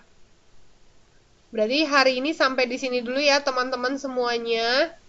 Terima kasih untuk hari ini. Sampai ketemu Jumat depan. Oke. Terima kasih. Selamat malam.